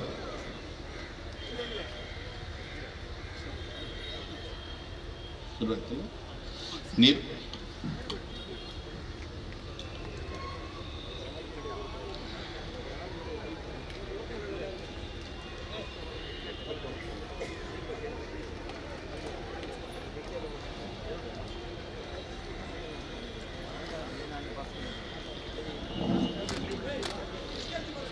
ನಮಾಜ್ಗೆ ಹೋಗುವವರು ನಮಾಜ್ ಮಾಡಿ ಬನ್ನಿ. ಈ ಒಂದು ಕಾರ್ಯಕ್ರಮ ಮುಂದಕ್ಕೆ ಕಂಟಿನ್ಯೂ ಮಾಡಲು ಪೌರತ್ವ ಹೋರಾಟ ಸಮೀಪ್ ಸಮಿತಿ ಕಲ್ಲಾಪು. ನಮಾಜ್ ಮಾಡುವವರು ಆಸನ- ಆಸನದಲ್ಲಿ ತಾವು ಆಸನ ಸ್ವೀಕರಿಸಬೇಕು. ಇದೀಗ ರಮೇಶ್ ಕುಮಾರ್ ನಿಮ್ಮ ಮುಂದೆ.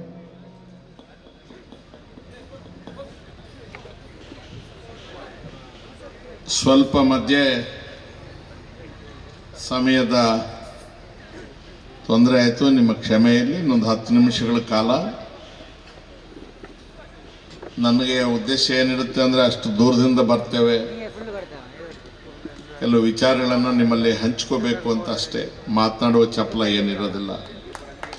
ನಾನು ಪ್ರಾರಂಭದಲ್ಲೇ ಹೇಳಿದೆ, ಇದು ರಾಜಕೀಯ ಸಭೆ ಅಲ್ಲ. ನಾನು ಇನ್ನು ಯಾವ ದೊಡ್ಡ ಹುದ್ದೆಗಳಿಗೆ ಆಕಾಂಕ್ಷೆನೂ ಅಲ್ಲ. ನಾನು ಈ ದೇಶನ ಪ್ರೀತಿಸ್ತಕ್ಕಂಥವನು, ನನ್ನ ಜನನ ಪ್ರೀತಿಸ್ತಕ್ಕಂಥವನು. ಗೆಳೆಯರೆ ನಾನು ತಮಗೆ ಹೇಳ್ತಾ ಇದ್ದೆ, ಪೌರತ್ವ ಕಾಯ್ದೆ ಒಂದು ನೆಪ. ಎನ್ ಆರ್ ಸಿ ಪೌರತ್ವ ಕಾಯ್ದೆ ಇದೆಲ್ಲ. ಡಾಕ್ಟರ್ ಬಿ ಆರ್ ಅಂಬೇಡ್ಕರ್ ಅವರು ರಚಿಸಿ ಕೊಟ್ಟಂತಹ ಸಂವಿಧಾನ. ಜಾರಿಗೆ ಬಂದ ದಿವಸದಿಂದಲೂ ಕೆಲವರಿಗೆ ಸಮಾಧಾನ, ಕೆಲವರಿಗೆ ಅಸಮಾಧಾನ. ವಂಚಿತರಿಗೆ, ಅಪಮಾನಿತರಿಗೆ, ಶೋಷಿತರಿಗೆ ನೆಮ್ಮದಿಯ ಬದುಕನ್ನು ಕೊಟ್ಟಿದೆ. ಚಾತುರ್ವರ್ಣ ಪದ್ಧತಿಯನ್ನು ಸಮರ್ಥಿಸುವವರಿಗೆ ಜಾತಿ ವ್ಯವಸ್ಥೆಯನ್ನು ಸಮರ್ಥಿಸುವವರಿಗೆ, ಮನುವಾದವನ್ನು ಸಮರ್ಥಿಸುವವರಿಗೆ ಇದು ಮನಸ್ಸಿಗೆ ಸಮಾಧಾನ ತಂದಿಲ್ಲ. ಈ ದಿವಸ ನೇರವಾಗಿ ದೇಶದಲ್ಲಿ ಅಂಬೇಡ್ಕರ್ವಾದ ಅಥವಾ ಮಾನವತಾವಾದ, ಅದರ ವಿರುದ್ಧ ಮನುವಾದ. ಆಕಸ್ಮಿಕವಾಗಿ ಮುಸಲ್ಮಾನರು ಈ ವಿಷಯದಲ್ಲಿ ಪ್ರಸ್ತಾಪಕ್ಕೆ ಬಂದಿದ್ದಾರೆ. ಆದರೆ ಇದರ ಮೂಲಭೂತ ಆಲೋಚನೆ ಇರೋದು ಈ ಸಂವಿಧಾನವನ್ನು ವಿಫಲಗೊಳಿಸಬೇಕು ಅಂತ ಹೇಳಿ. ಈ ಸಂವಿಧಾನವನ್ನು ನಾವು ರಕ್ಷಿಸಲೇಬೇಕಾಗಿದೆ. ಅಜೀಜ್ ಧಾರ್ಮಿಯವರು ಒಂದು ಮಾತು ಹೇಳಿದರು. ರಾಷ್ಟ್ರಗೀತೆ, ರಾಷ್ಟ್ರಧ್ವಜ, ಸಂವಿಧಾನ ಮೂರನ್ನು ನಾವು ಉಳಿಸ್ಕೊಳ್ಬೇಕಾಗಿದೆ ಅಂತ. ಸಂವಿಧಾನದ ಪೀಠಿಕೆಯ ವಿಚಾರವನ್ನು ಹೇಳಿದ್ದೇನೆ. ರಾಷ್ಟ್ರಗೀತೆ, ಜನ, ಗಣ, ಮನ, ಅಧಿನಾಯಕ ಜಯ ಹೇ ಭಾರತದ ಹೆಮ್ಮೆಯ ಪುತ್ರ, ಪ್ರಪಂಚದ ಖ್ಯಾತಿ ಉಳ್ಳ ನೊಬೆಲ್ ಪ್ರಶಸ್ತಿ ಪುರಸ್ಕೃತ ಪೂಜ್ಯ ರವೀಂದ್ರನಾಥ ಟ್ಯಾಗೂರ್ ಅವರು ನಮ್ಮ ರಾಷ್ಟ್ರಗೀತೆಯನ್ನು ರಚಿಸಿದ್ದು. ಸಾವಿರದ ಒಂಬೈನೂರ ಹನ್ನೊಂದನೇ ಇಸ್ವಿಯಲ್ಲಿ ಅದು ರಚನೆ ಆದದ್ದು.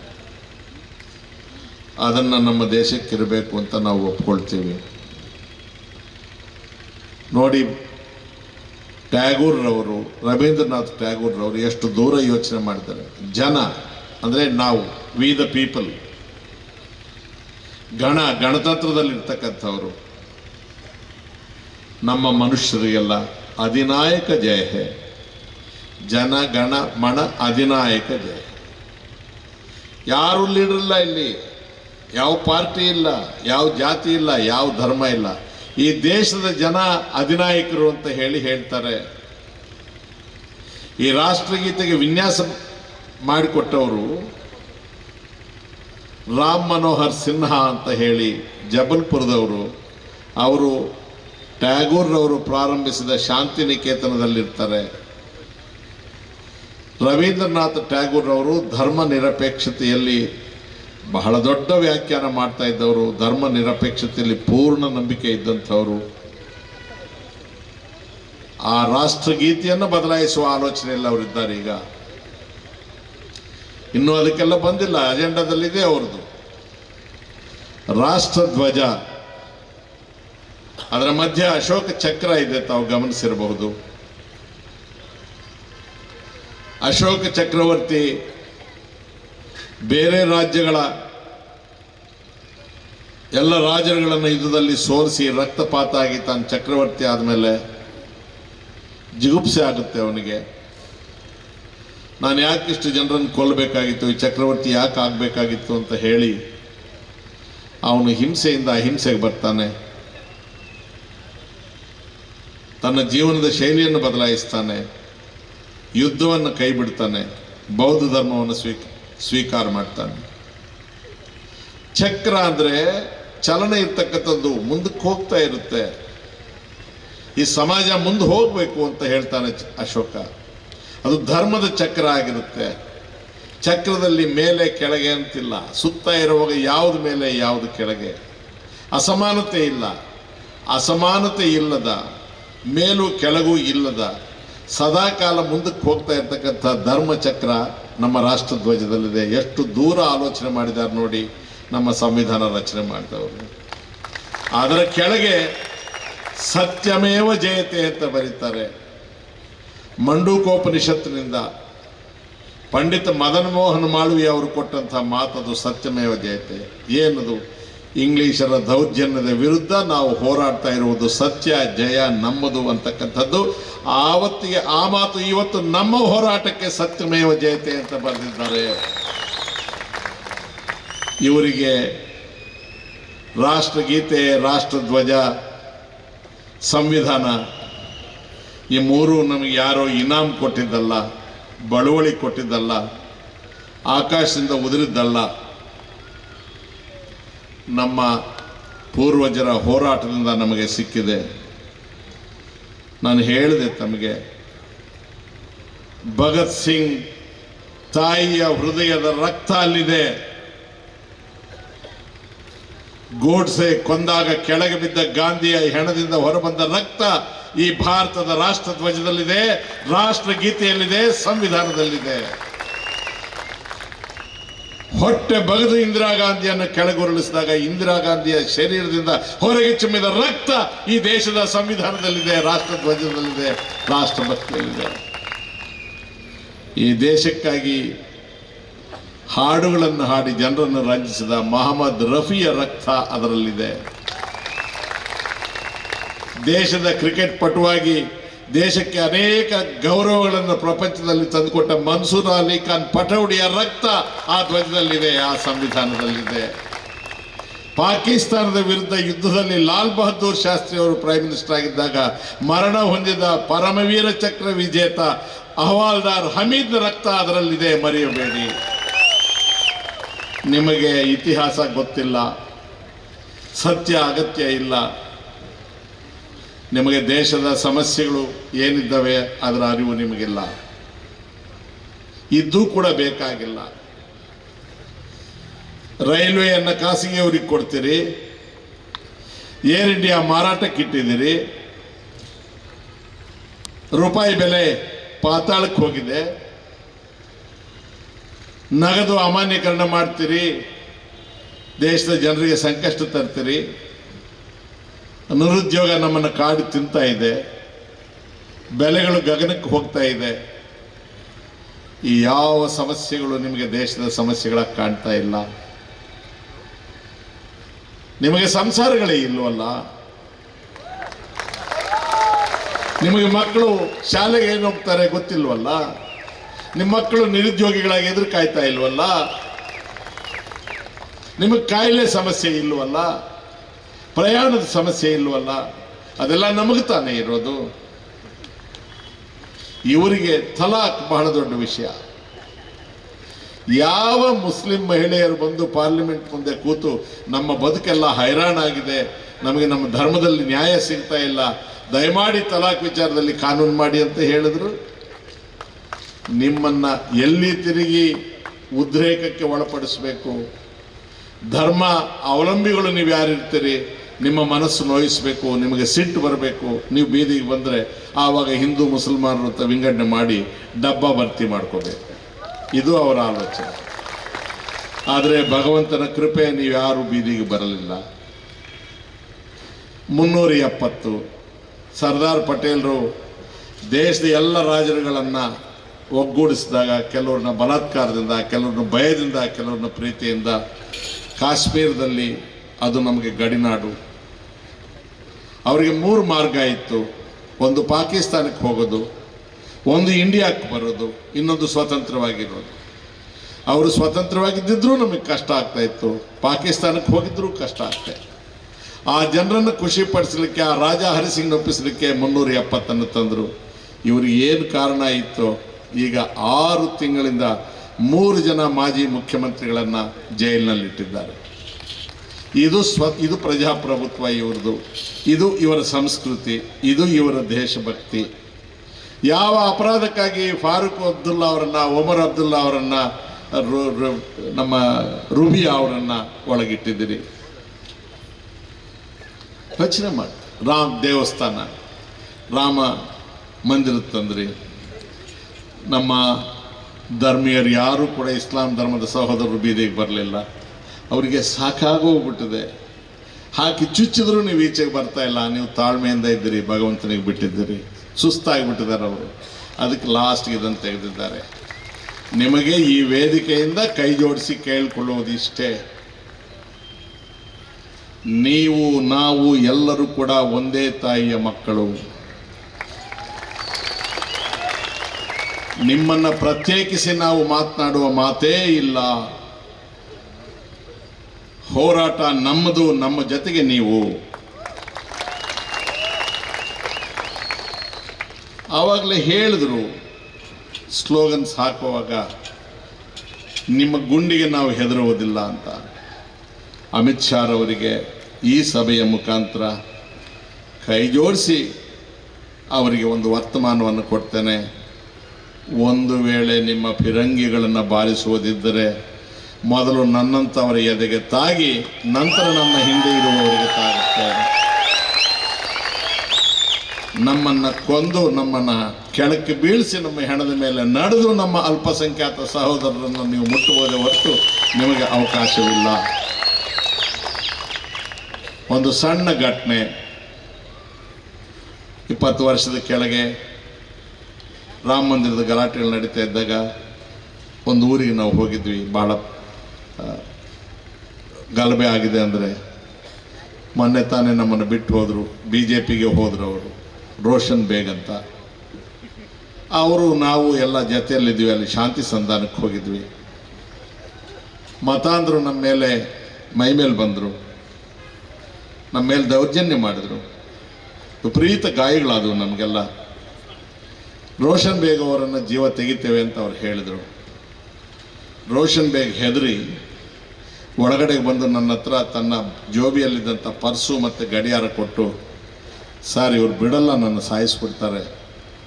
ನನ್ನ ಹೆಂಡತಿಗೆ ಇದನ್ನು ತಲುಪಿಸ್ಬಿಡಿ ಅಂತ ಕೊಟ್ಟ. ನಾನು ರೋಷನ್ ಬೇಗಿಗೆ ಅವತ್ತೊಂದು ಮಾತು ಹೇಳಿದೆ ಇಪ್ಪತ್ತು ವರ್ಷದ ಕಡೆಗೆ ರೋಷನ್ ನಿನ್ನ ಮೂರ್ಖ, ಬುದ್ಧಿ ಇಲ್ಲ. ಸಾಯೋದಾದರೆ ಇಬ್ಬರೂ ಸಾಯ್ತೀವಿ, ಮೊದಲು ನಾನು ಸಾಯ್ತೇನೆ, ಆಮೇಲೆ ನೀನು ಸಾಯ್ತೀಯ?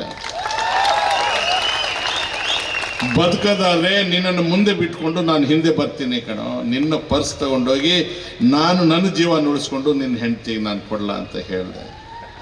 ನಮಗೇನು ಗ್ರಾಚಾರವೋ ಗೊತ್ತಿಲ್ಲ. ಅಂತಹ ರೋಷನ್ ಬೇಗ್ ಕೂಡ ಇವತ್ತು ಬಿ ಜೆ ಪಿಗೆ ಹೋಗಿದ್ದಾರೆ. ಅವ್ರು ಇವ್ರು ಹೋಗೋಷ್ಟೊತ್ತಿಗೆ ಲೇಟ್ ಆಯಿತು ಅಂತ ಬಾಗಿಲು ಹಾಕಿದ್ದಾರೆ, ಹೊರಗಡೆ ಕೂತಿದ್ದಾರೆ ಈಗ. ನಾನು ಈ ವಿಚಾರವನ್ನು ಯಾಕೆ ನಿಮಗೆ ಹೇಳಿದೆ ಅಂತಂದರೆ, ನಾನು ಮಾತಿಗಾಗಿ ತ್ಯಾಗ ಮಾಡ್ತೀನಿ ಅಂತ ಹೇಳೋನಲ್ಲ. ಆವತ್ತು ಅತಿ ಹೆಚ್ಚು ಗಾಯಗಳು ನನ್ನ ಶರೀರಕ್ಕಾಗಿದ್ದವು ರಕ್ತ ಸೋರ್ತಾ ಇತ್ತು. ನನ್ನ ಇಡೀ ಶರೀರದಲ್ಲಿ ಗಾಯ ಇಲ್ಲದ ಭಾಗವೇ ಇರಲಿಲ್ಲ. ನಾನು ಸಾಯಕ್ಕೆ ತಯಾರಾಗಿದ್ದೆ. ಧೈರ್ಯಸ್ಥನಿಗೆ ಜೀವನದಲ್ಲಿ ಸಾವು ಒಮ್ಮೆ ಮಾತ್ರ ಬರುತ್ತೆ. ಅಂಜಿ ಬದುಕ್ತಕ್ಕಂಥ ಹೇಡಿಗೆ ದಿನವೆಲ್ಲ ಸಾವೇ ಬರುತ್ತೆ. ನಾನು ಒಮ್ಮೆ ಮಾತ್ರ ಸಾಯಕ್ಕೆ ಇಷ್ಟಪಡುವವನು. ದಿನವೆಲ್ಲ ಸಾಯೋದಕ್ಕೆ ಇಷ್ಟಪಡೋದಿಲ್ಲ. ನಮ್ಮ ಮಾತನ್ನು ನಂಬಿ ಹೃದಯಾಂತರಾಳದಿಂದ ನಿಮ್ಮನ್ನು ಮನವಿ ಮಾಡಿಕೊಳ್ತೇವೆ. ಉದ್ವೇಗಕ್ಕೆ ಒಳಗಾಗಬೇಡಿ. ಉದ್ರಿಕ್ತರಾಗಬೇಡಿ. ಇದು ನಿಮ್ಮ ಸಮಸ್ಯೆ ಅಲ್ಲ. ನಿಮ್ಮನ್ನು ನೆಪವಾಗಿಟ್ಕೊಂಡಿದ್ದಾರೆ. ಎಲ್ಲ ಹೋರಾಟಗಳಿಗೆ ನಿಮ್ಮ ಹಿಂದೆ ನಾವಿದ್ದೇವೆ. ಆ ಭಗತ್ ಸಿಂಗ್ ನಮ್ಮ ಜೊತೆಗಿದ್ದಾನೆ. ಆ ಮಹಾತ್ಮ ಗಾಂಧಿ ನಮ್ಮ ಜೊತೆಗಿದ್ದಾರೆ. ಆ ಪಂಡಿತ್ ನೆಹರು ನಮ್ಮ ಜೊತೆಗಿದ್ದಾರೆ. ಆ ಮೌಲಾನಾ ಅಬ್ದುಲ್ ಕಲಾಂ ಆಜಾದ್ ನಮ್ಮ ಜೊತೆಗಿದ್ದಾರೆ. ಆ ಮಹಮ್ಮದ್ ರಫಿ ನಮ್ಮ ಜೊತೆಗಿದ್ದಾರೆ. ಆ ರಾಧಾಕೃಷ್ಣನ್ ನಮ್ಮ ಜೊತೆಗಿದ್ದಾರೆ. ಎಲ್ಲ ಮಹನೀಯರುಗಳು ಅಂಬೇಡ್ಕರ್ ಅವರು ನಮ್ಮ ಹಿಂದೆ ಇದ್ದಾರೆ. ಅಂಬೇಡ್ಕರ್ ಅವರು ನಮ್ಮ ದಾರಿ ತೋರಿಸ್ತಾ ಇದ್ದಾರೆ. ಅಂಬೇಡ್ಕರ್ ಅವರು ತೋರಿಸಿದ ಬೆಳಕಲ್ಲಿ ನಾವು ನಡೆಯೋಣ. ಇಷ್ಟನ್ನು ಹೇಳಿ ಸ್ವಲ್ಪ ನಮ್ಮ ಸ್ನೇಹಿತರು ಮುಂಜಾಗ್ರತೆ ವಹಿಸಿದ್ರೆ ಇನ್ನೂ ಬೇಗ ಮುಗಿಸ್ಬೋದಾಗಿತ್ತು. ಚೂರು ಏರುಪೇರಾಯಿತು. ನಿಮ್ಮ ಕ್ಷಮೆಯನ್ನು ಕೋರ್ತಾ ಇದ್ದೇನೆ. ಇಲ್ಲಿಂದ ಇಳಿಯುವ ಮೊದಲು ಒಂದೇ ಒಂದು ವಿಚಾರವನ್ನು ಹೇಳಿ ಇಳಿದು ಬಿಡ್ತೇನೆ ಸುಮಾರು ಮೂವತ್ತೈದು ವರ್ಷದ ಕೆಳಗೆ ಬೆಂಗಳೂರಿನಲ್ಲಿ ಒಂದು ಸರ್ಕಸ್ ದುರಂತ ಆಯಿತು. ಒಂದು ಎಲೆಕ್ಟ್ರಿಕ್ ಕಂಬಿ ತಾಗಿ ಆ ಟೆಂಟ್ ಸುಟ್ಟೋಗಿ ಸುಮಾರು ಜನ, ಮುನ್ನೂರು ಜನ ಮಕ್ಕಳು ಸತ್ತು ಹೋದರು. ಆಗ ನಾನು ದಿವಂಗತ ದೇವರಾಜ ಅವ್ರ ಜೊತೆ ವಿರೋಧ ಪಕ್ಷದಲ್ಲಿದ್ದೆ. ಕಣ್ಣೀರು ಸುರಿಸಿ ಅಸೆಂಬ್ಲಿಯಲ್ಲಿ ಮಾತಾಡಿದೆ. ಈ ಒಂದು ಆರು ವರ್ಷದ ಕೆಳಗೆ ಪಾಕಿಸ್ತಾನದಲ್ಲಿ ಉಗ್ರಗಾಮಿಗಳು ಒಂದು ಶಾಲೆಗೆ ನುಗ್ಗಿ ಮಕ್ಕಳನ್ನೆಲ್ಲ ಕೊಂದುಬಿಟ್ರು ನಿಮಗೆ ನೆನಪಿರಬಹುದು. ಆ ದಿವಸ ಬಿಕ್ಕಳಿಸಿ ಅತ್ತೆ ನಾನು. ಅವರು ಪಾಕಿಸ್ತಾನಿಗಳಲ್ಲ, ಅವರು ಮಕ್ಕಳು. ಆವತ್ತು ಸರ್ಕಸ್ ಧಾರಣ ಕೃತ್ಯದಲ್ಲಿ ಸತ್ತವರು ಮಕ್ಕಳೇ. ಆ ಪಾಕಿಸ್ತಾನದಲ್ಲಿ ಉಗ್ರಗಾಮಿಗಳ ಗುಂಡಿಗೆ ಸತ್ತವರು ಮಕ್ಕಳೇ. ಆ ಎಳೆಯ ಮಕ್ಕಳನ್ನು ನಾವು ಆ ದೇಶದ ಮಕ್ಕಳು, ಈ ಧರ್ಮದ ಮಕ್ಕಳು ಅಂತ ನೋಡಬೇಕಾಗಿಲ್ಲ. ಆದರೆ ತಿನ್ನುವ ಅನ್ನದಿಂದ ಆ ಧರ್ಮದ ಆಧಾರದ ಮೇಲೆ ಮನಸ್ಸುಗಳ ಮಧ್ಯೆ ಗೋಡೆ ಕಟ್ಟುವವರ ವಿರುದ್ಧ ನಮ್ಮ ಹೋರಾಟ ಈ ಹೋರಾಟಕ್ಕೆ ಜಯ ಆಗಲಿ ಅಂತ ಹೇಳಿ ಮೂರು ಸ್ಲೋಗನ್ಸ್ ಹೇಳ್ತೇನೆ ನನ್ನ ಜೊತೆಗೆ ಆಜಾದಿ ಅಂತ ಹೇಳ್ಬಿಡಿ ಹಮ್ ಲಡ್ಕೆ ಲಾಯಿಂಗೆ हम शहीद बन के लाएंगे हम मर के जिताएंगे आजाद है आजादी है हमारा हक आजादी है हमारा आज़ादी आज़ादी आज़ादी।